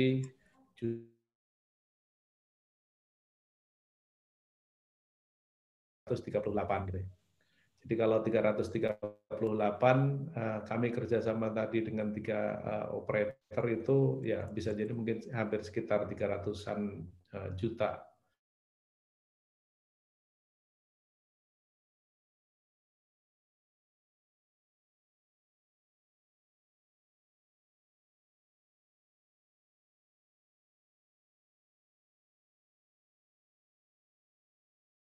yang sudah bisa mengakses internet yang sudah 175 dan signifikan growing pasti dalam waktu-waktu ke depan atau sekitar 64 persen. Nah, ini sebetulnya fakta-fakta digital yang uh, Mbak Devi dan kawan-kawan sekalian yang uh, rasanya menjadi suatu yang menarik ketika misalkan data-data yang ada di dalam digital ini, yang ada di dalam Eh, Facebook kita, data-data uh, Instagram, data-data dari Google, data-data dari eh, MNO kita sebut mobile network operators ataupun operator seluler itu menjadi objek untuk kajian-kajian untuk riset statistik kita. Ini menjadi suatu yang menarik karena karena apa? Karena yang tadi kita butuh untuk lebih kontekstual dalam menganalisis, kontekstual dalam mendapatkan eh, update-update yang terkait dengan perilaku konsumer eh, Indonesia yang ada di dalam eh, platform digital tersebut. Nah, sisi yang lain mungkin juga kita yang perlu untuk cermati bahwa ketika kebutuhan riset itu tentunya memang butuh sesuatu yang lebih lebih konteks tadi saya sampaikan. Karena apa? Karena secara bisnis sendiri secara uh, market sendiri itu pergerakannya sudah luar biasa gitu. Mungkin sudah sangat mengenal VUCA ini gitu ya, di mana mungkin industri, bisnis, uh, consumer uh, behavior, perubahan consumer behavior itu sudah sudah fuka gitu, sudah volatile, sudah berhadapan ketika berhadapan suatu yang tidak kepastian dia harus cepat untuk shifting ataupun secara agile untuk adaptasi dengan perubahan-perubahan baru itu gitu. Terus kemudian juga bisnis sudah ditemukan dengan uh, peta baru yang sudah semakin kompleks gitu ya. Uh, dengan tentunya ketika ada teknologi, riset kita yang barangkali mungkin setahun yang lalu sepertinya mungkin hari ini kayaknya pun juga sudah uh, kedaluarsa gitu. Nah ini hal-hal yang yang uh, apa namanya perlu untuk uh, ketika riset-riset statistik ini berhadapan dengan fakta-fakta digital termasuk tadi yang disampaikan eh, Mbak Yati juga terkait dengan perubahan-perubahan terkait dengan spending yang uh, riset pun juga sudah mulai banyak dikurangin, mulai untuk di uh, shifting ke sektor yang lain. Termasuk juga ambiguity-nya begitu ya, yang kita lihat bahwa ya begitu artinya kok ini sepertinya nggak konsistensi gitu ya, kok ini sepertinya ada suatu yang susah untuk diprediksi gitu, susah untuk dimengerti, susah untuk di jelaskan eh, ke depan seperti apa. Kalau dulu waktu awal eh, awal-awal 2000 ataupun akhir-akhir tahun-tahun 1900-an gitu, kita sudah masih bisa untuk memprediksi bisnis eh, tiga, empat, lima tahun ke depan.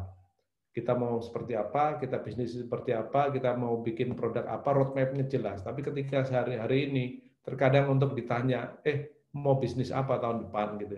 Bahkan itu sudah skalanya enterprise pun juga kadang-kadang masih susah untuk menjawab itu itu yang yang apa namanya sesuatu yang saat ini dihadapkan dengan buka ini yang tentunya men-challenge kita semuanya, men-challenge kita terutama mungkin ya kami yang ada di industri, eh, kami yang berkecimpung langsung di sana yang barangkali mungkin nanti kawan-kawan teman teman sekalian yang ada di masih mungkin sedang belajar segala macam menjadi suatu yang menjadi patut untuk diperhatikan. Sepertinya itu eh, Mbak Debbie. Baik Pak Hanif. Jadi kalau dari Pak Hanif ini uh, yang perlu di-emphasize itu the world is changing ya Pak Hanif ya. Jadi saat ini semua sudah goes digital, bahkan lucunya untuk penetrasi mobile phone connection-nya lebih tinggi daripada jumlah populasi kita saat ini, yaitu sekitar 124 persen. Ini sudah menunjukkan bahwa memang dunia sekarang sudah digital hmm. semuanya, dan perilaku konsumen juga cukup berubah uh, mengikuti dunia digital saat ini. Perilaku konsumennya juga ikut berubah. Dan FUKA ini juga tadi disebut-sebut ya oleh Bu Yanti Nisro, bahwa memang saat ini karena perilaku konsumen yang berubah, uh, sudah shifting ke digital. Jadi FUKA ini cukup sering disebut dan memang uh, harus kita pahami juga karena FUKA ini berpengaruh kepada yang tadi Pak Hanif bilang kalau dulu kita bisa predik ke depannya lima tahun ke depan akan seperti apa tren bisnisnya, kebutuhan masyarakatnya, produk apa yang cocok. Kalau sekarang tahun depan ditanya mau bisnis apa aja bingung karena sebegitu cepat perubahan-perubahan yang terjadi saat ini seperti itu. Nah, ya. itu dari bahkan itu dari Pak Hanif yang memang sudah berkecimpung di dunia digital dan big data. Seberapa kencang aliran-alirannya dan bagaimana data-data itu berubah setiap harinya. Seperti itu. Nah, kalau kalau misalnya kita hubungkan nih Pak Hanif dengan tema kita hari ini yaitu power of data in business development. Nah, kalau tadi di, dibilang bahwa sekarang mungkin di MD Media atau di Metra Digital Media itu sudah bekerja sama dengan uh, beberapa operator telepon seperti misalnya Telkomsel tadi dan juga uh, XL dan Indosat. Nah, mungkin bagaimana sih uh, MD Media sebagai uh, suatu bisnis atau misalnya MD Media mempunyai bisnis lain, bagaimana caranya untuk ngedevelop bisnis? Apa penerapan-penerapan data atau data yang tadi sungguh sangat banyak itu penerapan untuk pengembangan bisnisnya seperti apa nih Pak? Kalau dari MD Media sebagai perusahaan sendiri. Silahkan Pak Hani. Oke, okay, ya, yeah. uh, thank you Mbak Debbie. Jadi MD Media awalnya memang perusahaan teknologi perusahaan advertising uh, yang memang basisnya teknologi uh, yang bagian dari grup dari Telkom. Tetapi memang kalau kita uh, pelajari, memang sebetulnya industri advertising ini, terutama digital advertising itulah yang paling banyak mengadopsi big data gitu, ya. mengadopsi algoritma algoritma big data yang memang ya memang untuk uh, tadi gitu ya, bagaimana Facebook, Google semuanya memang itu sebetulnya adalah perusahaan big data gitu ya. Tetapi memang bisnis mereka adalah advertising. Nah, kami mencoba untuk bagaimana uh, mencoba menemukan gitu ya uh, new oil di Indonesia itu ada di mana yang Indonesia banget gitu ya. Kurang lebih seperti itu. Makanya uh, Telkom mendorong kami untuk bagaimana melakukan sebuah proses-proses inovasi yang cukup uh, ini apa namanya uh, fundamental. Apa sih kira-kira yang kita bisa untuk bantu Indonesia, bantu perusahaan-perusahaan Indonesia, bantu brand-brand Indonesia untuk mereka bisa bisa akseleratif gitu ya, uh, menggarap market mereka secara fokus. Nah, sekali lagi mungkin berangkat dari sini mungkin Mbak Devi. Jadi uh, bahwa sekali lagi semuanya sudah bergerak dengan perangkat mobilnya. Sekali lagi berangkat dari situ. Artinya di situlah yang kemudian kalau kita tanya saat ini ya tadi secara faktanya pun juga sudah di atas populasi Indonesia, jumlah nomor HP yang ada di Indonesia, agregat di seluruh operator. Dan kemudian secara masif pun juga pengguna smartphone user saat ini sudah 64 persen gitu. Dan uh, ini pasti ke depan, ke depan apalagi dipercepat dengan pandemi ini, seluruh sektor mobile apps itu uh, sangat signifikan sekali untuk yang pertumbuhannya Demikian juga terkait dengan penggunaan HP-nya. Ya sekarang ini ya tidak hanya milenial, tapi bahkan mungkin sekarang pun juga eh, ibu-ibu uh, seperti ibu saya gitu yang mungkin sudah eh, uh, 65-66 tahun pun juga mas sudah kerasa asik gitu dengan smartphone gitu ya. Uh, sudah serasa merasakan Facebook, merasakan WhatsApp, merasakan grup WhatsApp segala macam. Komunikasi pun juga sudah mulai dengan smartphone-nya gitu. Artinya intensitas kita untuk uh, untuk komunikasi, untuk kolaborasi, untuk bahkan saling berbagi informasi itu menjadi sesuatu yang sudah menjadi keniscayaan. Makanya intensitas kita dengan uh, perangkat HP kita pun juga sudah semakin semakin intens gitu ya. Rata-rata 150 hari, 150 kali dalam sehari itu pun juga ya kalau faktanya rata-rata, tapi kalau misalkan potret orang Jakarta, orang Bogor, orang Jabodetabek pasti mungkin lebih dari itu gitu. Eh, dan kita potret secara global pun juga terkait bagaimana smartphone itu penggunaannya baik untuk purchase eh, online, untuk eh, video streaming, untuk payment, untuk household dan seterusnya itu penggunaan semakin masif. Maka dari itu kita mulai coba uh, eh, MD Media itu bisnisnya kurang lebih di sini, Mbak. Gitu. Jadi bagaimana MD Media kami dengan brand Maxset ini kita ngobrol dengan mereka gitu, kita ngobrol dengan Telkomsel yang paling awal kita sudah kerjasama dari empat tahun yang lalu kita ngobrol dengan Telkomsel karena memang grup gitu ya uh, terkait dengan bahwa nanti akan seperti ini gitu loh, nanti akan seperti ini, nanti akan mulai shifting cara or cara uh, Oh, perilaku orang. Nanti akan shifting cara uh, pemerintahan itu untuk melakukan proses statistik. Nanti akan shifting uh, brand-brand sama komersial uh, besar itu akan bagaimana mengukur bisnis mereka gitu. Dan uh, Anda punya data yang luar biasa, uh, mereka punya data profilnya luar biasa, mereka membangun kapasitas data. Maka kami ngobrol dengan mereka untuk bagaimana bareng-bareng membangun capability untuk dua hal sebetulnya memang gitu ya. Yang pertama memang penguatan pada sisi untuk tadi riset gitu ya, seperti apa yang dilakukan juga dengan uh, Mbak Yanti tadi gitu. Bagaimana kami mulai masuk uh, dari 2017 itu untuk yang government economic research. Jadi uh, riset dari statistik memang masih sangat fokus untuk yang di uh, sektor pemerintahan gitu ya kami masuk uh, membantu uh, sektor pariwisata untuk statistik pariwisata, kami bantu untuk sektor statistik komuter, kami bantu untuk sektor statistik perhubungan dan beberapa yang lainnya. Baru kemudian di 2019 kemarin kita masuk untuk mulai mulai fokus juga untuk bagaimana market research ke, ke bisnis gitu. Kami banyak ngobrol dengan beberapa kawan-kawan di market research apa yang kita bisa untuk empowering mereka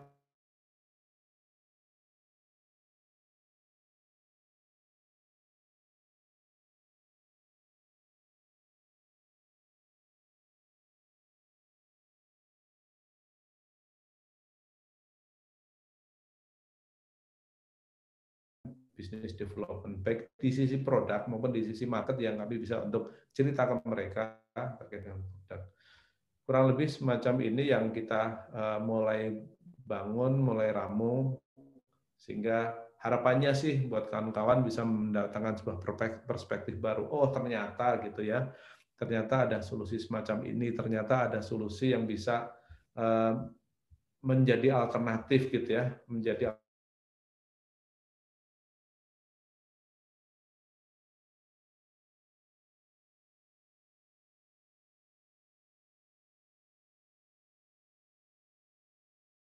kita perlu untuk ketemu uh, uh, bisnis kami gitu di MD Media uh, ketemu dengan sumber datanya di telco tadi uh, Telkomsel, Excel, Indosat terus inilah kemudian layanan-layanan kami gitu ya. Kami memberikan layanan namanya Mobility Insight. Mobility Insight itu solusi-solusi riset berbasis pergerakan uh, subscriber, pergerakan pergerakan nomor HP gitu. Uh, ada banyak di sana karena memang kita melihat bahwa people movement gitu, people movement yang diwakili dengan nomor HP-nya itu sangat identik gitu, sangat uh, close correlation dengan uh, ekonomi and growth.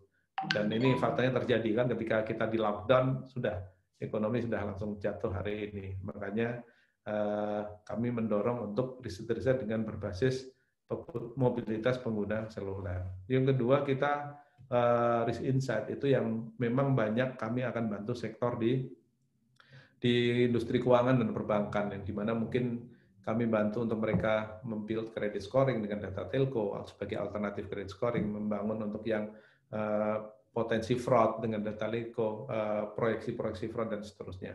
Dan yang terakhir adalah consumer insight. Nah, kalau consumer insight lebih banyak bagaimana telco data itu kami bisa leverage demikian rupa, ketemu dengan machine learning, ketemu dengan algoritma dan macam-macam untuk bisa menghasilkan gitu.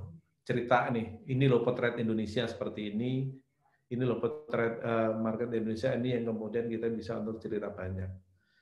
Kurang lebih semacam uh, itu, Mbak Devi. Uh, semoga bisa menginspirasi bahwa ternyata ada ada ada big data nih yang saat ini bisa untuk menguatkan solusi-solusi riset yang uh, yang saat ini sudah cukup apa namanya cukup lama berumur lama solusi riset yang konvensional mulai kami mencoba mengidekan terkait dengan uh, repositioning. Nah outputnya semacam ini. Jadi output outputnya konsep-konsep uh, perhitungan Wisman MPD yang di 2017-18 kami sudah untuk melakukan gitu ya. Jadi eh, riset-riset yang kami dorong, yang kami idekan itu pun sudah mulai di in di beberapa pemerintahan, di Kementerian Pariwisata, bahkan BPS sebagai uh, pusat statistik secara nasional itu juga sudah mengadopsi uh, metode ini, metode uh, MPD ini, terutama memang masih untuk yang di sektor uh, pariwisata dan uh, kependudukan gitu ya. Baik, Pak Hanif. Terima kasih banyak, Pak Hanif. Oh, ini ya, yang Menpar Mobile Positioning Data. Oke. Okay. Iya.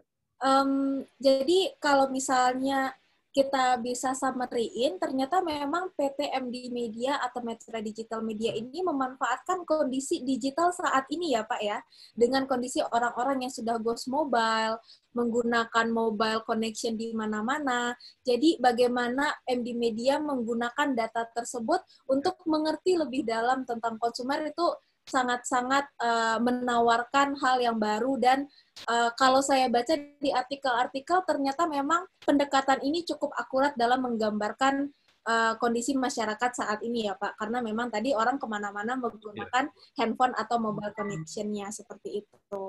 Betul, nah, betul. Yeah. Oke, nah Maxsite juga sendiri ternyata dari segi uh, bisnisnya juga support berbagai macam uh, solusi bisnis development, mulai dari mobility insight, risk insight, dan yeah. juga consumer insight. Nah, kalau yeah. di sini Pak Hanif menunjukkan tentang mobile positioning data. Nah, ini mungkin uh, relate dengan bahan yang dibawakan oleh Bu Yanti tadi, kalau memang dunia itu berubah, metode-metodenya juga berubah. Perubahan-perubahan yang ada membawa kita kepada metode mana yang mungkin lebih menjawab atau mungkin lebih efektif digunakan pada saat ini untuk menghasilkan data yang lebih akurat. Nah, Mungkin teman-teman di sini peserta dari Satria Data 2020 mungkin belum terlalu familiar nih Pak dengan yang Bapak bicarakan tentang mobile positioning data atau mobility insight yang menggunakan data-data mobile tadi, bekerja sama dengan Telkomsel, Indosat, dan XL. Mungkin bisa di-share nih Pak Hanif kepada peserta-peserta kita mungkin use case dari mobile positioning data atau bahkan apa sih mobile positioning data itu okay. sendiri yeah. supaya bisa memperluas wawasan kita. Silahkan Pak Hanif. Oke, jadi uh, eh, MPD atau Mobile Positioning Data itu merupakan sebuah sebuah pendekatan gitu ya, sebuah pendekatan untuk melakukan riset gitu. Jadi masuknya sudah digital research dengan big data. Pendekatannya tidak uh, sampling lagi, cuman dan tetapi sudah masuk kepada uh, populasi. Anggap 338 uh, pengguna seluler tadi itulah sebagai uh, untuk objek riset kita gitu ya Tinggal bagaimana kita masukkan algoritma-algoritma yang terkait dengan pergerakan. Jadi kalau ceritanya di sini ya MPD merupakan sebuah pendekatan baru untuk menganalisis berdasarkan apa? Berdasarkan data pergerakan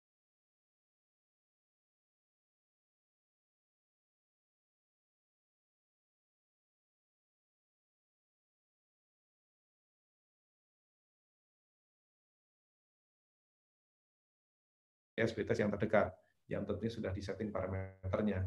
Sumber data kami mungkin nanti kalau terkait dengan uh, apa namanya hal-hal yang teknis itu ada minimal ada dua. Yang pertama data CDR.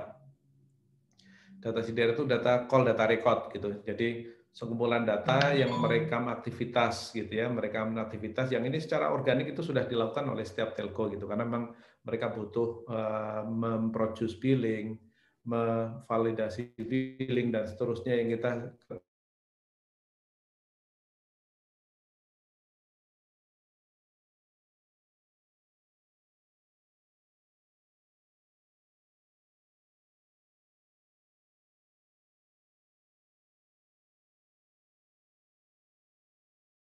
itu uh, telco itu memproduce data gitu, memproduce satu row gitu. Ketika kita browsing pun juga begitu, produce satu row. Nah, yang kedua adalah data LPA. LPA itu panjangan dari uh, location based uh, location based service data gitu. Ya. Jadi data-data yang intinya gini, uh, ada maupun tidak ada aktiviti kita gitu dalam jaringan tertentu itu kita akan detect uh, bisa mendetek terkait dengan lokasinya ada di mana gitu. Nah, ini ini yang menjadi data penting artinya mobile positioning kita, posisi HP kita dan di mana itu uh, ada datanya. Nah, tentunya memang ini bisa dipakai untuk uh, secara uh, secara apa namanya? secara ke, ke aparat penegak hukuman ada ada versinya sendiri, tetapi untuk riset pun juga ada versinya sendiri. Uh, nanti mungkin saya cerita sedikit bagaimana data-data ini tetap memungkinkan untuk secara uh, komplain dengan regulasi, komplain dengan perundang-undangan yang ada, dan kemudian kita tetap aman untuk bisa memanfaatkan ini untuk kebutuhan riset. Dan kemudian yang ketiga adalah data referensi saja sebenarnya Leksima. Artinya BTS ini ada di mana sih? Ada di kecamatan mana, di kelurahan mana gitu. BTS ini ada di mencakup wilayah mana saja dan seterusnya. Jadi MPD itu seperti itu eh, sebagai data untuk kebutuhan riset. Gambarannya seperti ini, eh, karena ini sesuatu yang baru ya Oh ya, sorry, terkait benefit gitu. Jadi yang membedakan antara MPD dengan research yang lain itu data konsisten. Kenapa? Karena data produce 24 jam, nggak berhenti dia, nggak berhenti. Terus kemudian sumber data, sumber datanya itu bisa domestik dan mancanegara nih gitu ya. Jadi kalau domestik itu 380, uh, eh, sorry 338 pergerakan tadi ya itu seperti itu gitu ya. Uh, dia bergerak ke mana selama masih di wilayah Indonesia Eh, ya kita akan bisa menganalisis gitu.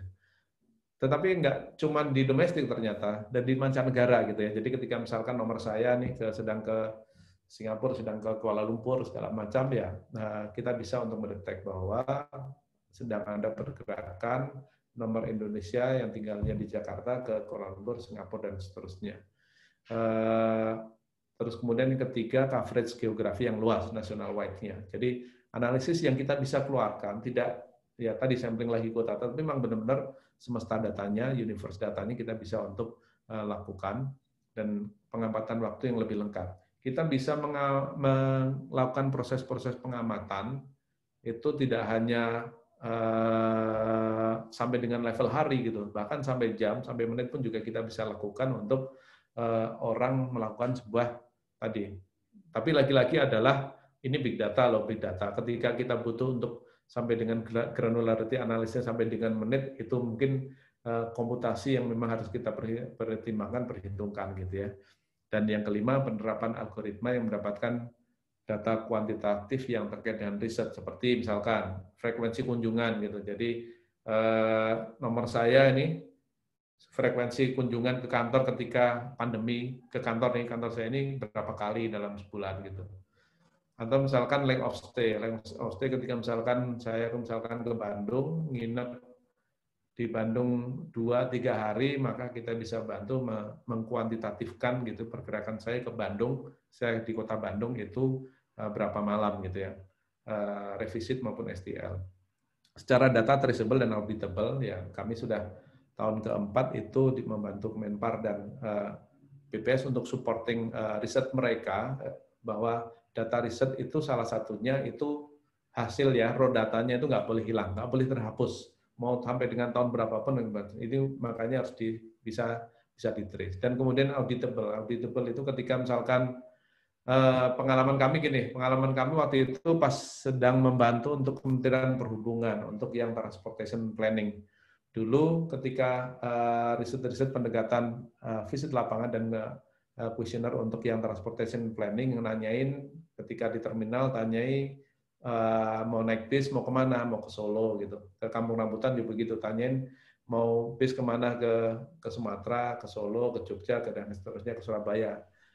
Demikian juga ketika uh, di di di pintu-pintu tol pun juga begitu. Mereka risetnya seperti itu pada awalnya. Kami bantu untuk mendorong mengkonvert dari pendekatan tadi pendekatan uh, basis survei kepada big data, benar kita capture dari sisi per, per, pergerakannya. Yang yang terjadi adalah ketika gitu, ketika evidennya gitu, evidennya yang sebelumnya itu infonya bisa berlemari-lemari, bisa uh, setelah data nasional dikumpulkan itu bisa satu ruangan sendiri gitu ya, satu ruangan sendiri lima kali delapan satu ruangan sendiri eviden evidennya. Sekarang dengan big data uh, evidennya yang kami sampaikan ke ke ke Kementerian Perhubungan adalah matrik saja dalam bentuk output matrik dalam satu file Excel gitu ya, yang tidak lebih dari satu mega gitu ya. Outputnya saja. Ya itu. Tetapi tapi secara data itu mungkin kan untuk di, di uh, traceable dari BPK segala macam bisa mengakses untuk server yang ada di Telkomsel yang bisa untuk kemudian me, me, apa namanya menganalisis pergerakan datanya dari dari sumber data awal, proses-prosesnya pun juga uh, kita bisa uh, tunjukkan. Ini kurang lebih untuk yang eh, MPD. Nah, ini terkait dengan akses data juga begitu ya, artinya nggak semuanya bisa mengakses, mengakses tapi nggak semuanya bisa juga data diakses. Dan objek-objek uh, MPD itu bisa ke mana aja sih gitu untuk risetnya gitu. Nah ini mungkin kan yang uh, menjadi area-area lah gitu ya. Barangkali mungkin kawan-kawan di sini yang, statistik, statistician gitu untuk uh, bisa melihat bahwa data pergerakan yang ada di uh, yang saat ini kami kelola itu mungkin kan untuk min, minimal melakukan analisis kepada tiga aspek ini. Menganalisis orangnya gitu ya, profil-profil orangnya, demografi, tinggalnya di mana, terus kemudian home office-nya di mana, terus kemudian hangout location-nya di mana. Artinya dari sisi segmentasi uh, penduduknya itu seperti apa kita juga bisa untuk bantu lakukan. Terus kemudian yang bisa menganalisis uh, places-nya gitu, tempatnya gitu. Jadi kalau misalkan saya saat ini eh, saya kerja di kawasan Gatot Subroto, kita pengen menganalisis gitu uh, kawasan SCBD ini uh, seperti apa gitu profil pengunjungnya, profil yang worker di situ, rumahnya dari mana gitu, rumahnya dari mana saja untuk yang yang bekerja di situ. Atau misalkan uh, di Ancol gitu, kita bisa menganalisis Ancol untuk sebagai sebuah krisis analisis gitu, yang visit di sana, yang in and out di sana, yang football di sana gitu. Dan yang ketiga adalah menganalisis tripnya, perjalanannya gitu.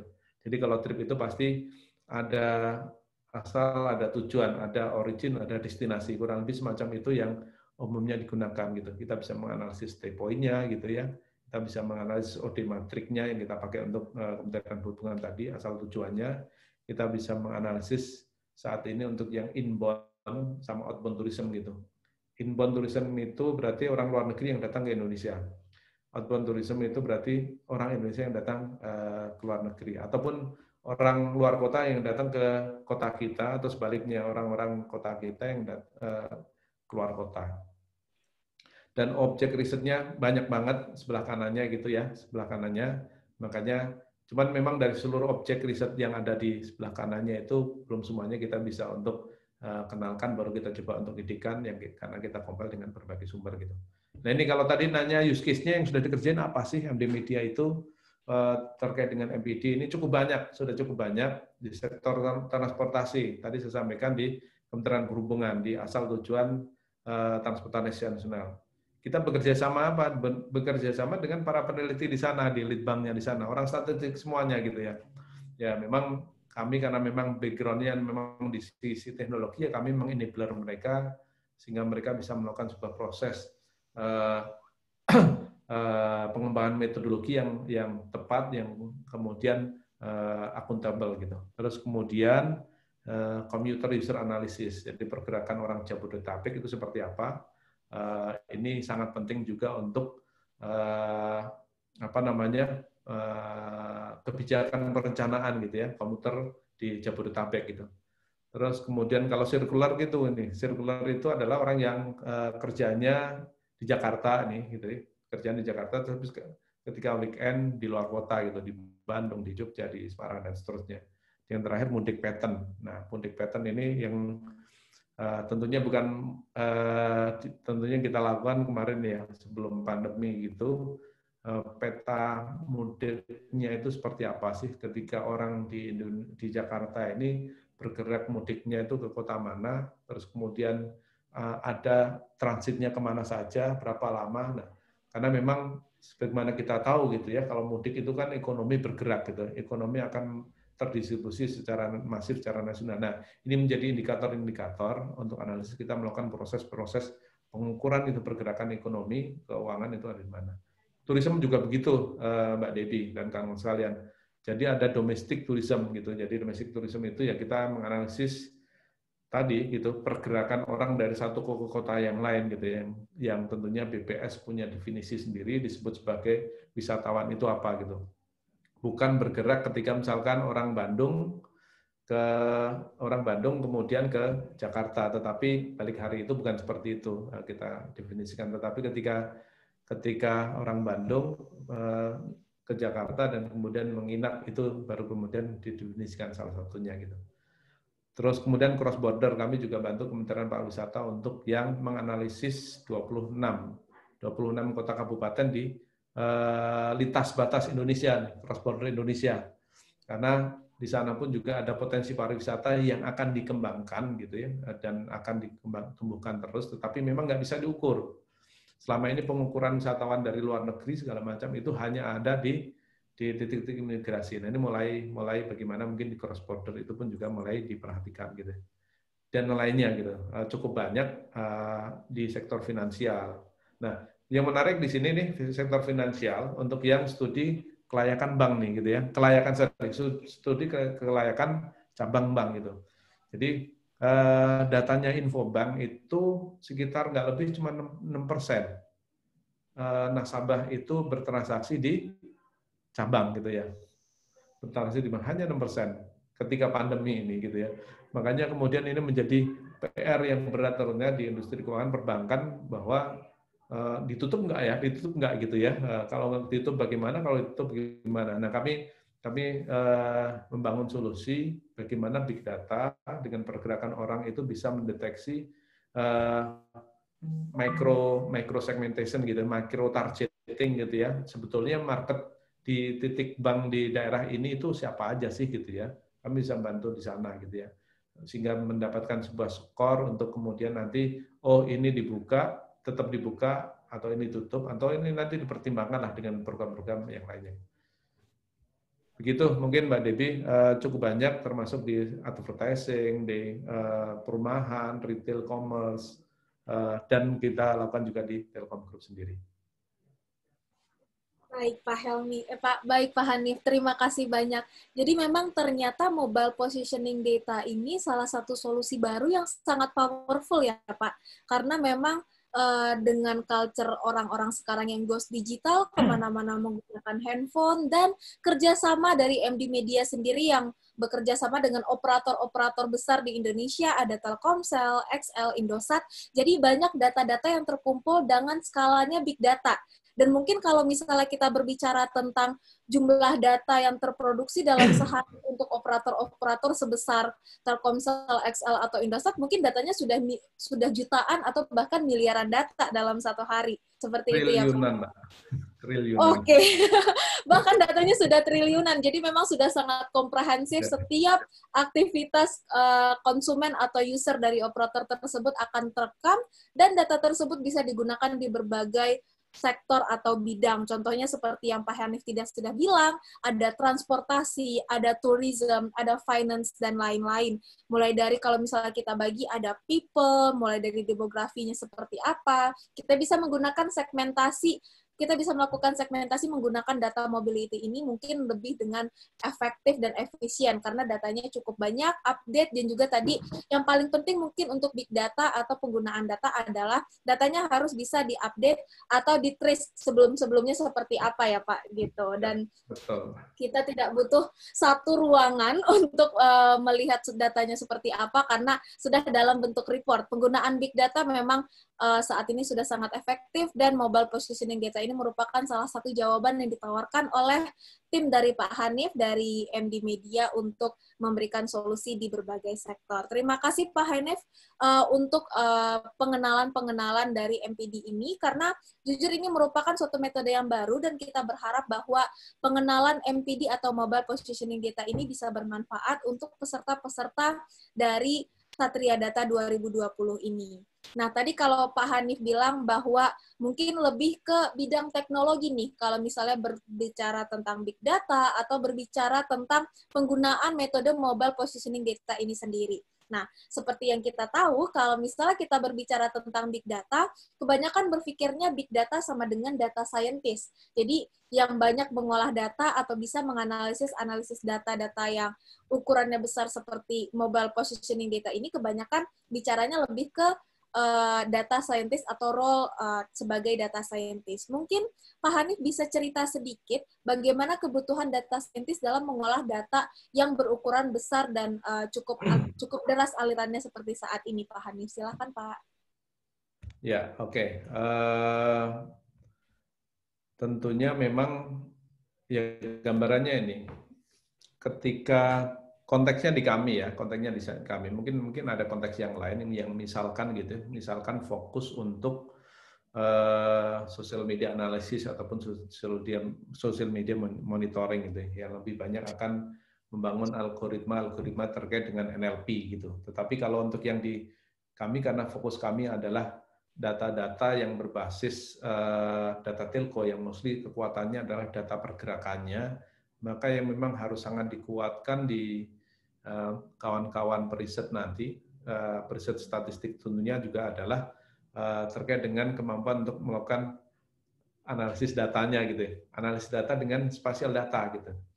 Jadi ini memang yang saat ini sangat dibutuhkan terkait dengan ke kekuatan kemampuan untuk melakukan spasial data analisis. Kalau Google punya Google Map Timeline, maka kalau kami itu namanya user seluler user seluler untuk SDA uh, human delivery uh, daily activity. Dan bagaimana mungkin in, secara secara uh, secara personal kita memungkinkan sorry secara komunal kita memungkinkan untuk melakukan sebuah proses-proses terkait dengan apa sih aktivitas hariannya setiap orang gitu. Dari mungkin bangun pagi gitu ya bangun pagi mungkin di Bogor karena dingin segala macam baru berangkat kantor jam 8 ke Jakarta gitu. Di Jakarta ngantor di kawasan uh, Sudirman, terus kemudian uh, kemudian nanti siang nanti makan siang ke mana gitu, terus kemudian balik lagi kantor, terus kemudian jam 5 balik lagi ke, ke Bogor naik komuter lain gitu. Nah, SDA semacam itu yang memungkinkan untuk kita bisa bantu pada akhirnya untuk bagaimana membutuhkan sebuah kemampuan data scientist, kemampuan data engineer untuk bisa menerjemahkan itu.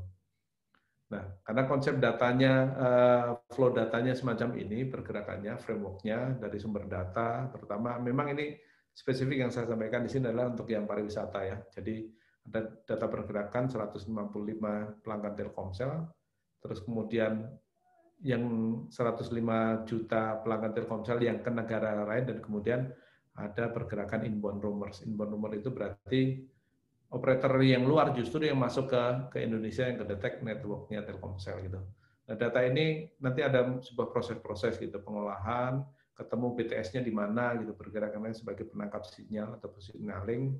Nah, kemudian eh, di sinilah kemudian nanti mulai peran gitu ya. Jadi mulai dari analytic zone maupun visualisasi itu eh, peran-peran kawan-kawan di di di data scientist gitu. Perannya apa? Yaitu peran peran untuk bagaimana punya strategi, punya kemampuan untuk menerjemahkan itu. Bagaimana dari data menjadi sebuah informasi, dari informasi kemudian menjadi insight gitu ya. Dan tentunya ada algoritma yang harus kebangun di sana, ketemu dengan tadi sekian banyak use case yang tadi yang kita sudah bisa untuk uh, definisikan di atas gitu. Atau misalkan juga pendekatannya di analytic zone lagi adalah ketemu gitu. Ketika misalkan di kementerian apalagi misalkan Bappenas ketemu masalah apa gitu. Seperti Bapenas misalnya ketemu masalah ekonomi Indonesia ke depan gitu proyeksinya seperti apa. Misalkan dengan pendekatan-pendekatan uh, uh, MPD mobile positioning itu juga bisa untuk ketemukan. Memang butuh yang melakukan proses proses di sana gitu. Dan yang terakhir adalah melakukan sebuah proses-proses uh, visualisasi gitu ya ya visualisasi dalam bentuk dashboard dan visualisasi dalam tadi yang disampaikan oleh Mbak Yanti itu dalam bentuk sebuah storytelling gitu ya dari data yang kompleks, dari data yang besar, bagaimana bisa untuk keluar dengan sebuah output, dengan sebuah narasi yang sederhana untuk dipahami, tetapi yang paling penting dari data itu adalah bagaimana bisa menjadi eh, data driven untuk eh, membangun strategi, data driven untuk bagaimana konteksnya bisnis development gitu. Nah, ini mungkin eh, teknisnya lah gitu ya. Tapi mungkin saya coba kasih analogi semacam ini, gambarannya gitu. Andai kan zona A, zona B, zona C ini adalah kecamatan di kota kita gitu, di kota kita, maka kurang lebih datanya yang semacam ini gitu. Jadi eh, misalkan kita di situ eh, atau Mbak Debi aja deh gitu ya. Mbak Debi kan pelanggan Telkomsel kan. Ya Pak. Mbak Debi di situ ketika bergerak dalam zona eh, tetap di zona A, titik merah adalah BTS gitu ya Eh, nah, ketika nah, ini ini ilustrasi saja sebetulnya eh, bagaimana bisa kawan-kawan data scientist itu memahami gitu. Datanya itu kayak gini gitu. Ketika data kayak gini, ada Mbak Debi bergerak uh, di di zona A, masih posisi di zona A di kecamatan A, itu kedetek oleh BTS di situ terus kemudian bergerak lagi eh, berapa langkah, mungkin barangkali mungkin juga satu kilo, masih gitu berada di zona A, tetapi sudah berada dalam BTS yang berbeda. Bergerak lagi, cuman memang sudah pindah zona gitu ya, zona B. Zona B itu eh, sudah masuk ke wilayah kecamatan lain gitu. Itu ketemu dua BTS juga gitu. Terus kemudian ke zona C, ketemu ke BTS yang lain dan kemudian sudah berada di kecamatan yang lain.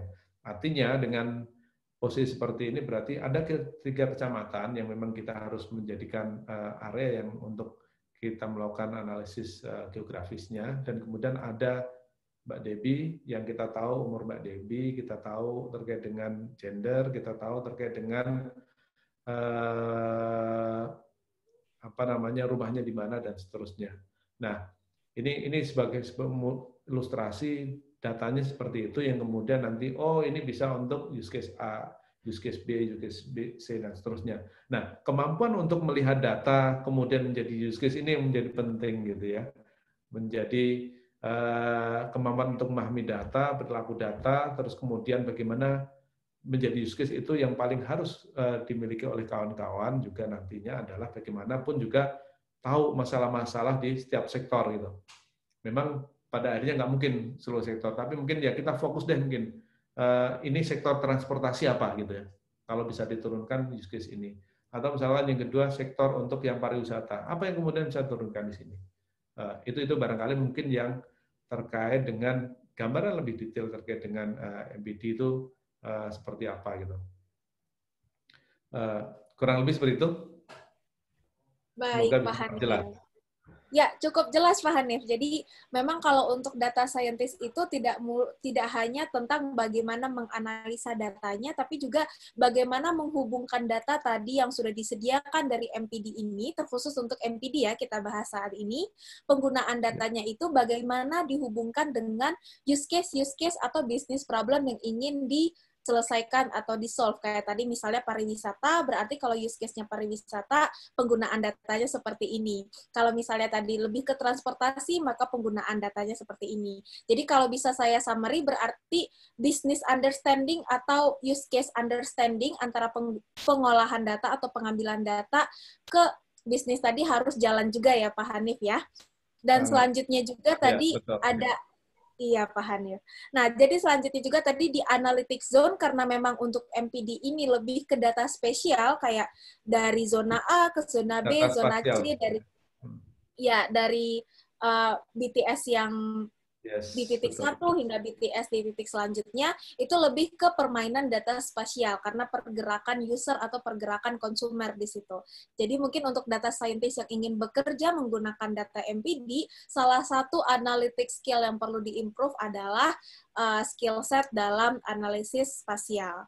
Dan juga salah satu yang penting juga di-emphasize oleh Pak Hanif dan juga di-emphasize oleh Bu Yanti tadi, bagaimana cara kita memvisualisasikan data, tidak hanya melalui suatu dashboard atau report, tetapi juga dalam bentuk storytellingnya dalam menyampaikan dari triliunan data per hari tadi yang sudah masuk dari Telkomsel, Indosat, XL, dan lain-lain, bagaimana caranya itu bisa menjadi report atau dashboard atau story yang berguna cukup mudah dimengerti dan akhirnya menghasilkan insight dalam pengembangan bisnis.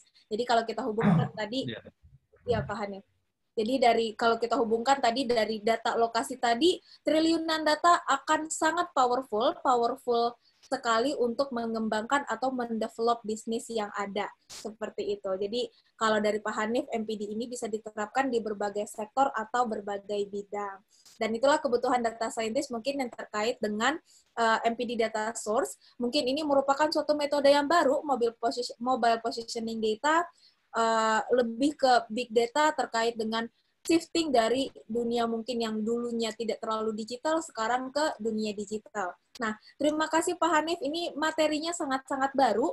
Ini menuntut kita untuk belajar hal-hal baru lagi untuk tetap keep up dengan hal-hal baru, metode-metode baru yang ada di dunia uh, saat ini, di dunia pekerjaan saat ini. Nah, dengan materi-materi yang menarik yang sudah Pak Hanif berikan nih, ternyata banyak yang penasaran tentang metode-metode uh, atau penggunaan digital saat ini. Nah, ada pertanyaan pertama nih Pak Hanif dari Muhammad Nur Fikri Adam. Izin bertanya Bapak terkait pandangan Bapak dari penggunaan atau implementasi big data dalam digital research decision making pada suatu kondisi terbaru. Misalnya memanfaatkan teknologi digital pada taraf mobilitas masyarakat pada kondisi pandemi COVID-19 melihat apakah adanya keterhubungan antara taraf mobilitas masyarakat dengan rentannya individu masyarakat tersebut dengan pandemik. Berarti ini kita melihat nanti mobilitas masyarakat tersebut dengan kondisi pandemik saat ini, Pak Hanif. Mungkin bisa dijawab, Pak. Terima kasih. Ya, uh, memang ketika harus harus ketemu dengan sebuah uh, output tertentu yang itu memang kita harus definisikan. Tetapi Eh, minimal gini, minimal use case yang kami sudah siapkan, terutama bagaimana uh, data pergerakan ini untuk menjawab uh, kondisi pandemi itu ada dua. Yang pertama adalah bagaimana membantu big data ini dengan data pergerakan bisa membantu untuk yang pemerintah daerah ataupun gugus tugas itu untuk bagaimana melakukan sebuah proses-proses evaluasi ini gitu ya Eh, berhasil tidak gitu ya eh, arahan kebijakan yang sudah di, di dilempar ke masyarakat itu untuk yang tadi misalkan social distancing terus kemudian juga terkait dengan pembatasan uh, di area-area tertentu, pembatasan untuk yang wilayah kerja dan seterusnya. Ini memungkinkan untuk melakukan sebuah proses big data untuk melakukan monitoring efektivitas. Efektif nggak sih gitu ya ketika misalkan seperti kayak Jakarta, seperti misalkan Bogor itu untuk ketika misalkan melon terkait dengan kebijakan PSBB itu efektif atau tidak. Di area itu yang kemudian nanti sebetulnya eh, dari pemerintah daerah bisa untuk kemudian bisa melakukan sebuah proses eh, action gitu. Titik-titik mana yang kemudian masih nggak efektif. Seperti misalkan potret Jakarta, ada Jakarta Barat, Timur, Utara, Pusat, Eh, dan selatan gitu. Di titik mana gitu dari wilayah ini kemudian uh, efektif tidak efektif uh, PSBB itu berlaku dan itu mungkin kan kita mungkin kan bisa tampilkan di dalam sebuah dashboard-dashboard ketika misalkan intensitas pergerakan orang di satu kelurahan kecamatan tinggi ya kita kita barangkali mungkin kita bisa untuk highlight di di wilayah-wilayah tersebut untuk kemudian penanganan lebih lanjut. Terus kemudian yang menjadi menarik lagi sebetulnya kalau terkait dengan uh, pandemi ini adalah riset-riset yang uh, mulai untuk melihat potret ekonomi Indonesia pasca pandemi gitu ya. Saat ini kami sedang instan ya sedang uh, intens untuk uh, di sektor pariwisatanya karena memang juga data pariwisata dan algoritma use yang kita cukup uh, miliki cukup cukup banyak, cukup lengkap terkait dengan sektor pariwisata. Bagaimana untuk menumbuhkan uh, iklim pariwisata yang lebih kondusif gitu ya. Tetap menjaga, tetap tetap apa namanya uh, protokol kesehatan dijaga. Tapi saat bersamaan itu uh, kayak kita kita ini yang sudah um, sudah berapa bulan nih lima bulan gitu ya di rumah terus gitu. Yang butuh piknik gitu ya. Jadi banyak yang kita sudah merasa butuh piknik butuh pengen lihat laut butuh pengen lihat gunung butuh lihat pengen untuk eh, jalan-jalan, kuliner dan seterusnya gitu. Nah, pemerintah sekarang kan juga sudah bagaimana membangun uh, ekosistem pariwisata yang lebih adaptasi dengan uh, uh, COVID-19 ini. Nah, ini pun juga big data memungkinkan untuk uh, di sisi-sisi mana. Contoh ketika titik-titik mana sebetulnya yang bisa untuk uh, sorry sorry mungkin zona-zona uh, mana kota-kota yang mendapatkan zona mana yang kemudian mungkin kan untuk di dikuatkan sektor pariwisatanya dan kemudian kami bisa untuk uh, dengan big data membantu untuk melakukan namanya reinvitasi gitu. Jadi diundang kembali aja ini. Contoh ketika misalkan di titik misalkan di salah satu uh, uh, contoh misalkan Sukabumi lah gitu ya. Sukabumi yang barangkali mungkin kita anggap zonanya uh, hijau yang saya pernah uh, dapat gitu. Kita bisa untuk mengundang gitu orang yang katakanlah tahun lalu karena uh, orang Jakarta, orang Bandung, orang luar kota lah gitu yang pernah visit ke Sukabumi kita bisa untuk invite gitu, kita bisa SMS, kita bisa untuk uh, kemudian dengan data untuk mereka di invite, eh Sukabumi lagi ada event ini loh, eh Sukabumi sudah siap loh untuk menyambut tamu-tamu yang tapi uh, bisa uh, dengan protokol COVID yang uh, cukup ketat dan aman. Bisa seperti itu untuk bagaimana menumbuhkan uh, ekonomi yang lebih apa namanya uh, untuk tumbuh kembali lah gitu ya ekonomi Indonesia. Semoga menjawab. Baik.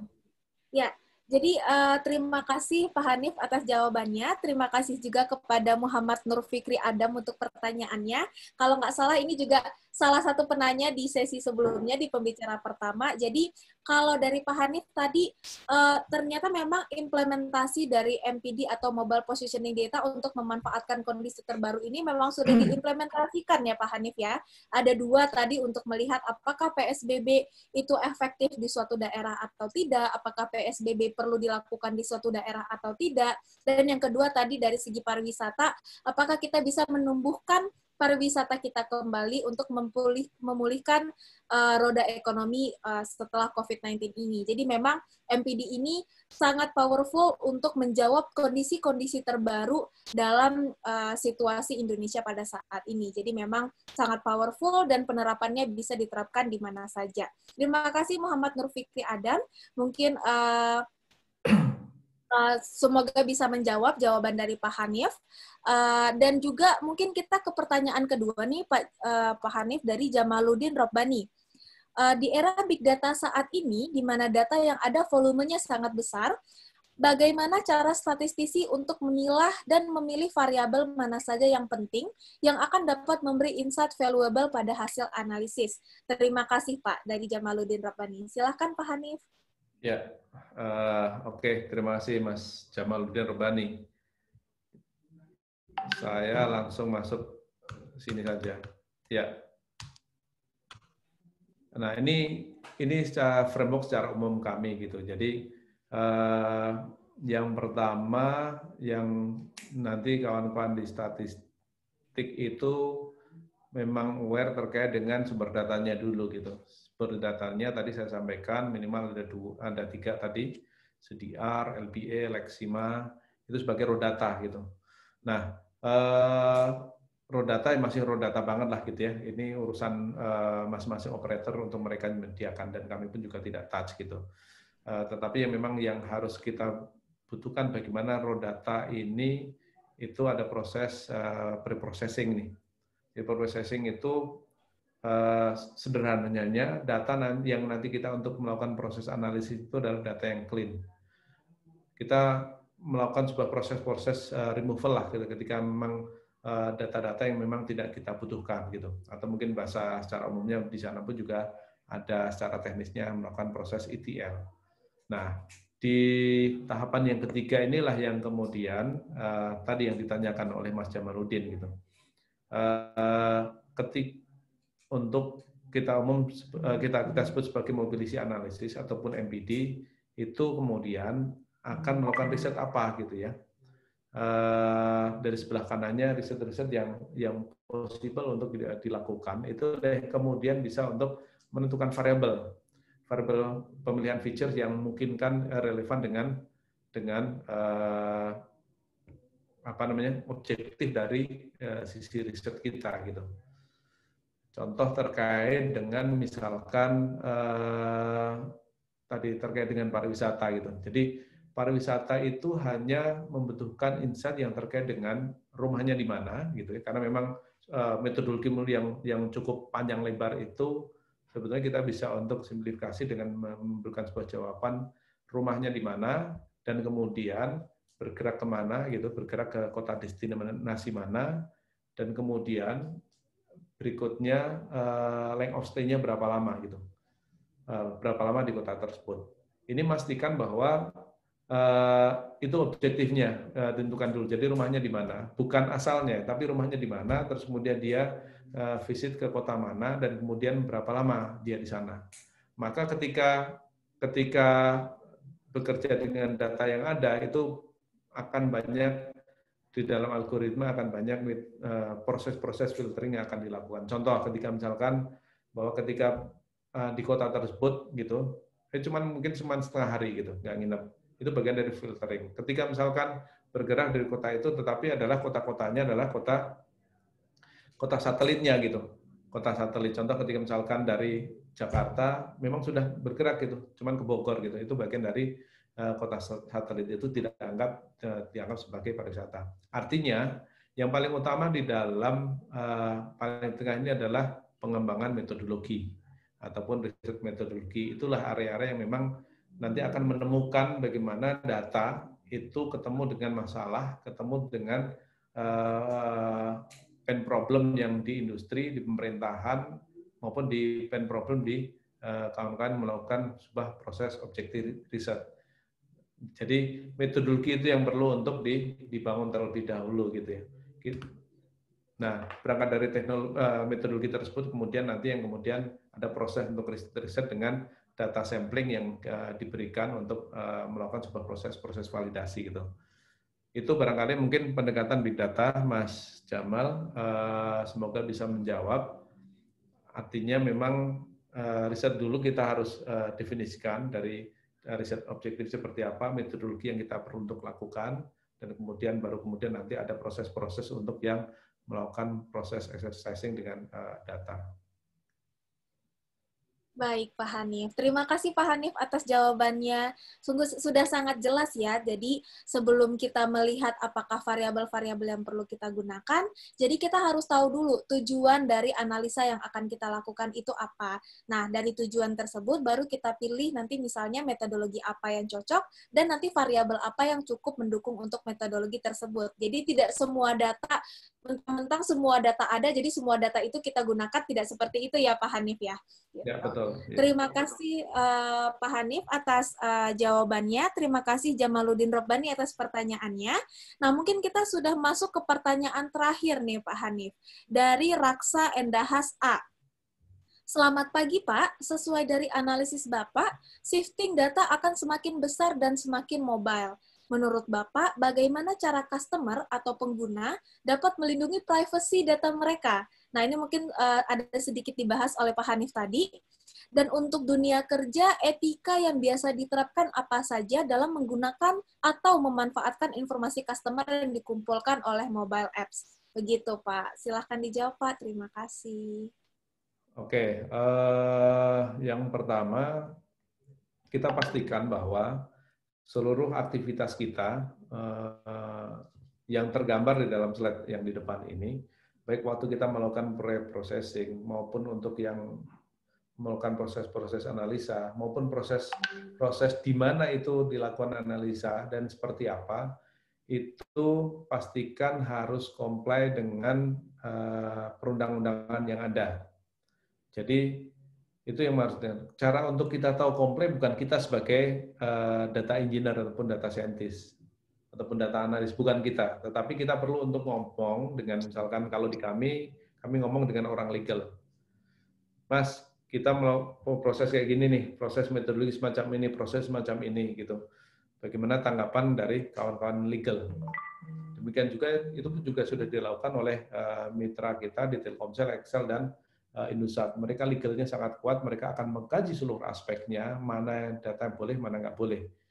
Karena itu menjadi uh, faktor yang uh, fundamental untuk pada kondisi tadi, gitu ya. Bagaimana kita bisa untuk memanfaatkan data, bagaimana data ini bisa bermanfaat untuk ekonomi Indonesia, pembangunan Indonesia, untuk bermanfaat juga untuk para brand yang pengen mereka akselerasi bisnis mereka, tetapi saat yang bersamaan bagaimana data pun juga bisa untuk uh, melindungi eh, pihak-pihak uh, yang berkepentingan gitu ya. Terus ada undang-undang yang memang kita harus jaga, undang-undang perlindungan konsumen yang ada undang-undang terkait dengan ITE yang menjadi koridor banget di, di sisi untuk telco dan sekarang ada undang-undang terkait dengan uh, terkait dengan uh, kerahasiaan pribadi.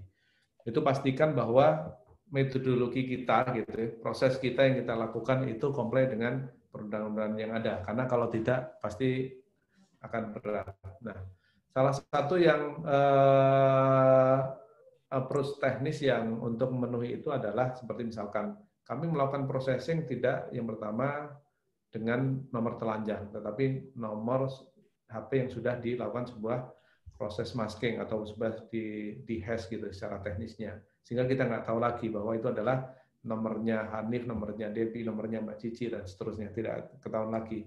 Tetapi dari dari itulah kemudian karena kita yang membutuhkan adalah variabel-variabel behavioralnya gitu, variabel-variabel yang terkait dengan demografinya, maka itu sebenarnya yang kita butuhkan untuk proses riset. Itu yang dilakukan. Terus kemudian yang kedua eh, teknisnya riset terus teknisnya delivery. Ketika kami menyampaikan delivery itu ke tadi ke Kementerian Pariwisata, ke BPS, ke Kementerian Perhubungan dan ke, ke brand yang lainnya, delivery-nya itu semuanya agregatif. Semuanya data-data agregat, uh, tidak ada yang data individual. Jadi semuanya hanya dalam bentuk agregat, baik dalam output-nya dalam bentuk Excel maupun output-nya dalam bentuk sebuah uh, dashboard. Dan itu itu itu yang menjaga keamanan artinya data itu bermanfaat. Terus kemudian yang kedua tetap bisa untuk melindungi hak kita bahwa kita juga sebagai pengguna uh, seluler gitu. Nah, terkait dengan uh, big data yang lain seperti yang dilakukan oleh Facebook, Google segala macam, ya mereka pasti punya policy itu ya gitu ya. Mereka punya policy itu. Mereka juga pengen making money dari dari data-data itu uh, sesuai dengan model bisnis mereka. Gitu. Terus kemudian yang kedua, pertanyaannya terkait dengan uh, apa ya yang kedua tadi ya? Lupa yang kedua sebenarnya terkait sih Pak. Jadi etika dalam uh, okay. menggunakan yeah, yeah. atau memanfaatkan yeah, yeah. informasi customer. Oke, okay. kalau terkait dengan etika, uh, seperti di kami, uh, setiap karyawan yang punya hak akses atas data itu setiap tahun menandatangani sebuah fakta integritas, gitu ya, fakta integritas karena uh, tahu data maka uh, fraud itu bisa terjadi, gitu ya tahu data, maka sebetulnya hanya bisa digunakan untuk objektif-objektif yang memang sudah ditentukan, ditugaskan, dan menjadikan eh, target-target kerja. Itu itu yang dari sisi untuk yang etika untuk karyawan gitu. Nah, berikutnya juga etika-etika untuk uh, terkait dengan uh, bisnis secara umum gitu. Kalau bisnis secara umum, contoh ketika misalkan kami memberikan pelayanan untuk saat ini misalkan ke Bank BNI, berikan servis insight untuk BRI. Tentunya memang kami nggak akan mungkin katakanlah servis yang sama, misalkan servis untuk BRI kami share untuk yang ke klien-klien yang lain gitu. Uh, kita memang harus berangkat dari yang kebutuhan sangat spesifik, kita tanya kembali, misalkan BRI, eh masalahnya apa, butuhnya apa, terus kemudian apa yang menjadi ekspektasi dan seterusnya, sehingga kita build walaupun terkadang mungkin membutuhkan uh, algoritma yang sama tetapi barangkali memang itu berangkat dari eh, kebutuhan-kebutuhan uh, yang spesifik dan tetap menjaga dari etika bisnis gitu ya untuk secara B2B-nya. Mungkin itu uh, dua aspek yang pertama untuk secara karyawan sebagai profesional dan kemudian secara bisnis juga untuk bagaimana profesional bisnis pun juga terbangun gitu. Baik, Pak Hanif, terima kasih. Jadi ini mungkin menjawab uh, banyak yang berpikir di dalam hati gimana ya kalau datanya digunakan uh, dalam metode-metode seperti mobile positioning uh, location atau mobile positioning device ini gitu kan.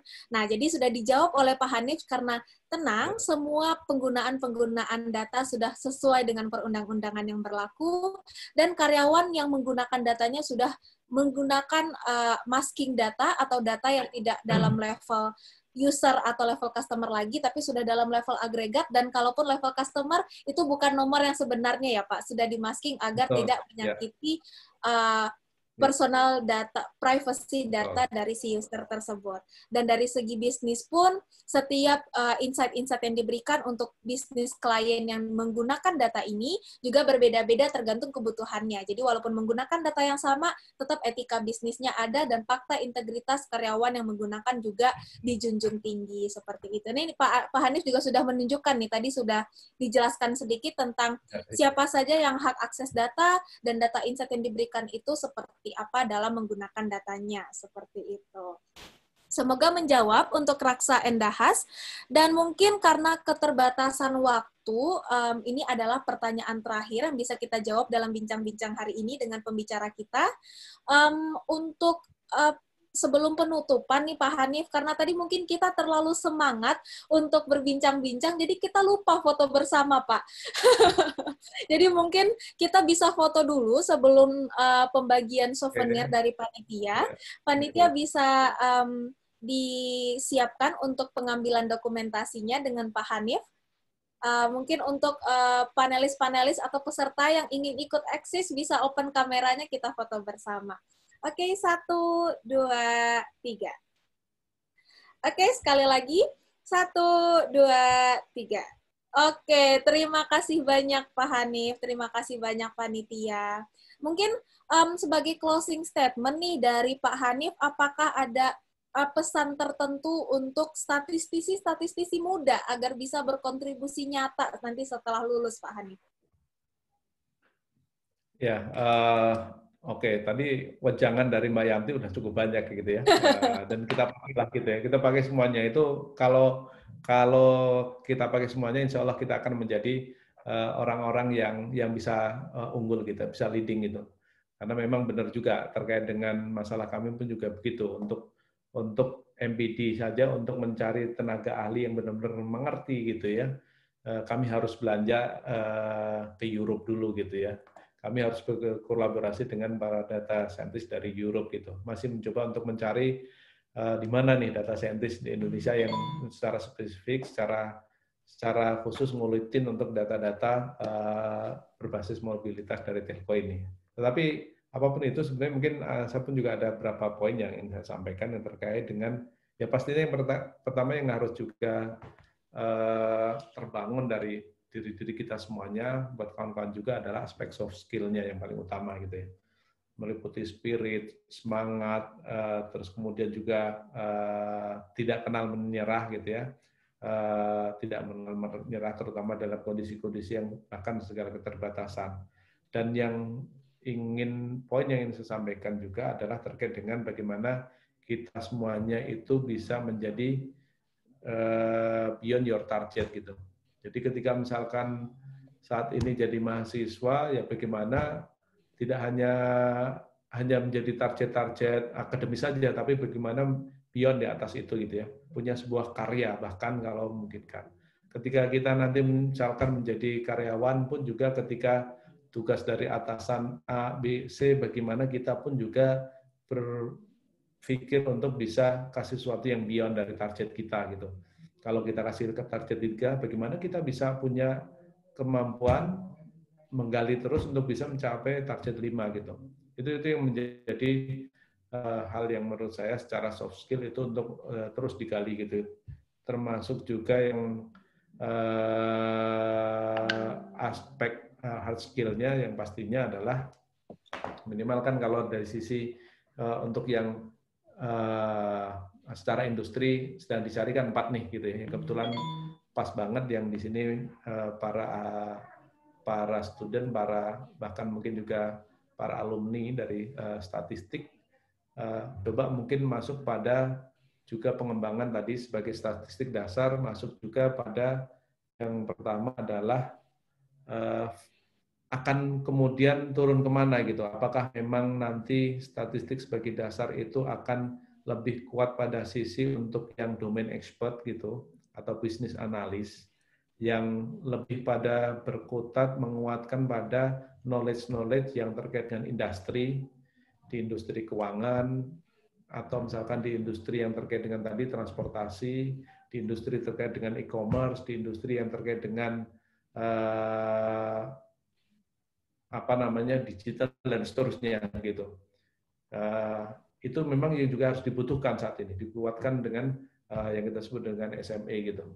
Atau misalkan nanti yang uh, juga harus dikuatkan juga pada aspek untuk yang hard skill-nya juga adalah di sisi apakah sebagai status dasar pun akan masuk pada untuk yang kita butuhkan adalah ke data engineeringan gitu. Nah kalau ini uh, tentunya butuh butuh untuk kawan-kawan pun juga mendalami yang lebih detail terkait dengan eh, aspek-aspek yang masuk pada hard skill gitu ya terkait dengan ya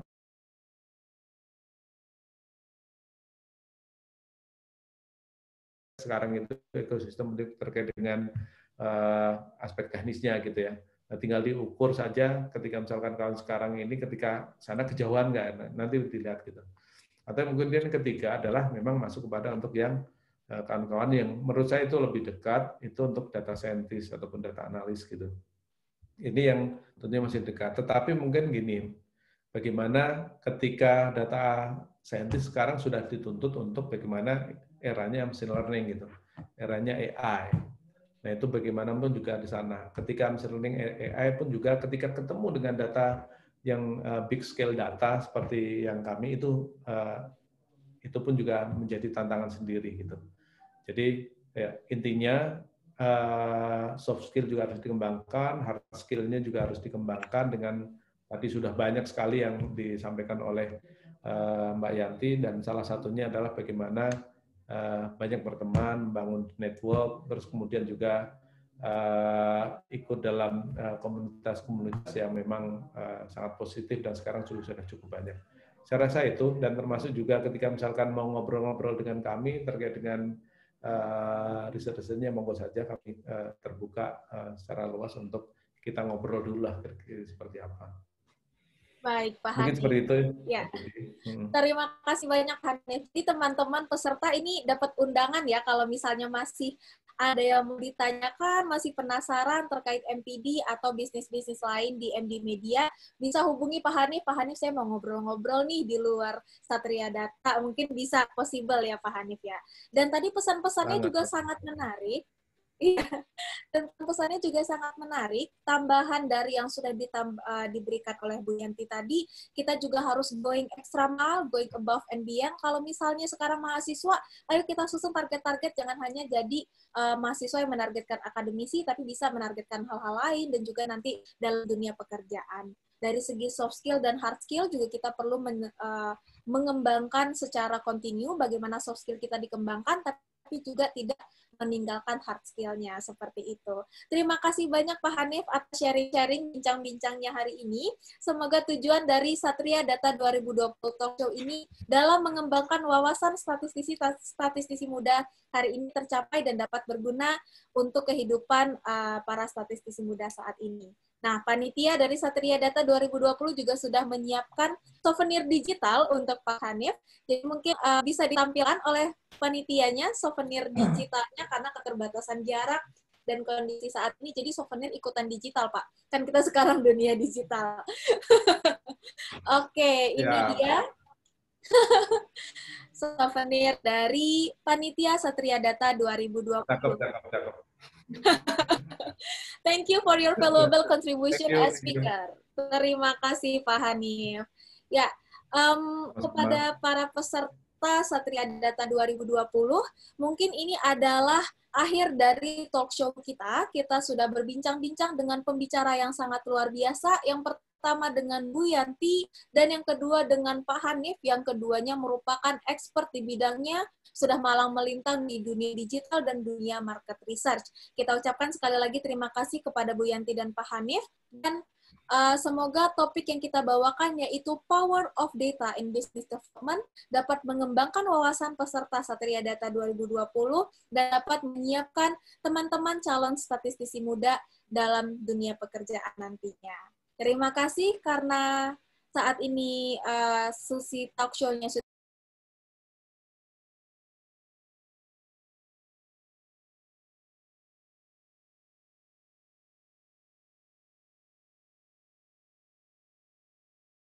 Ibu Yanti Nisro dan Bapak Hanif Helmi, dan juga kami terima kasih kepada Kak Debbie Aurizela yang telah memandu acara talk show pagi hari ini. Sebelumnya, Kak Debbie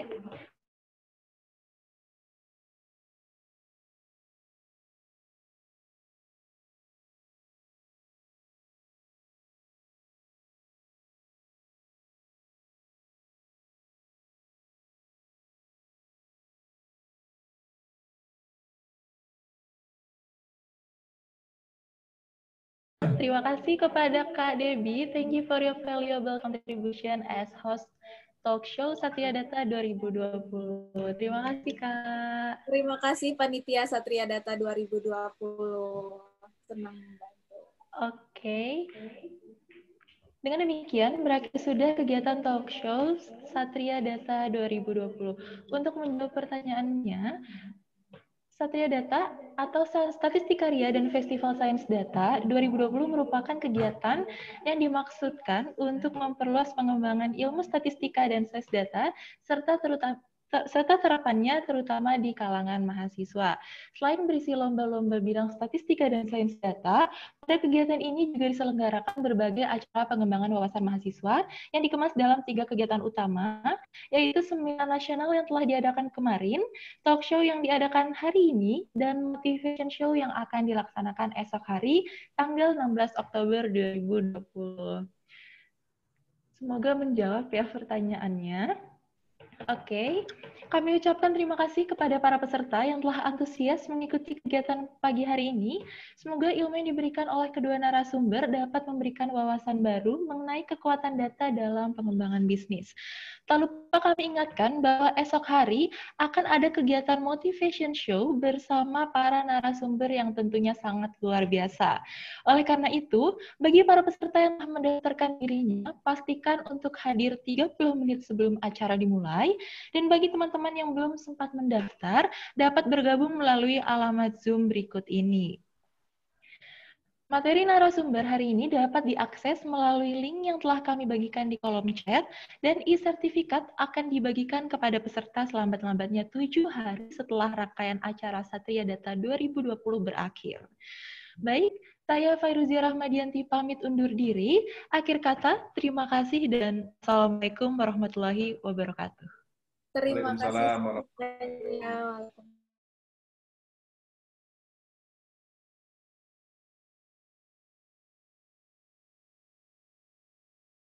panitia lainnya. Selamat siang. Ya. Izin live ya.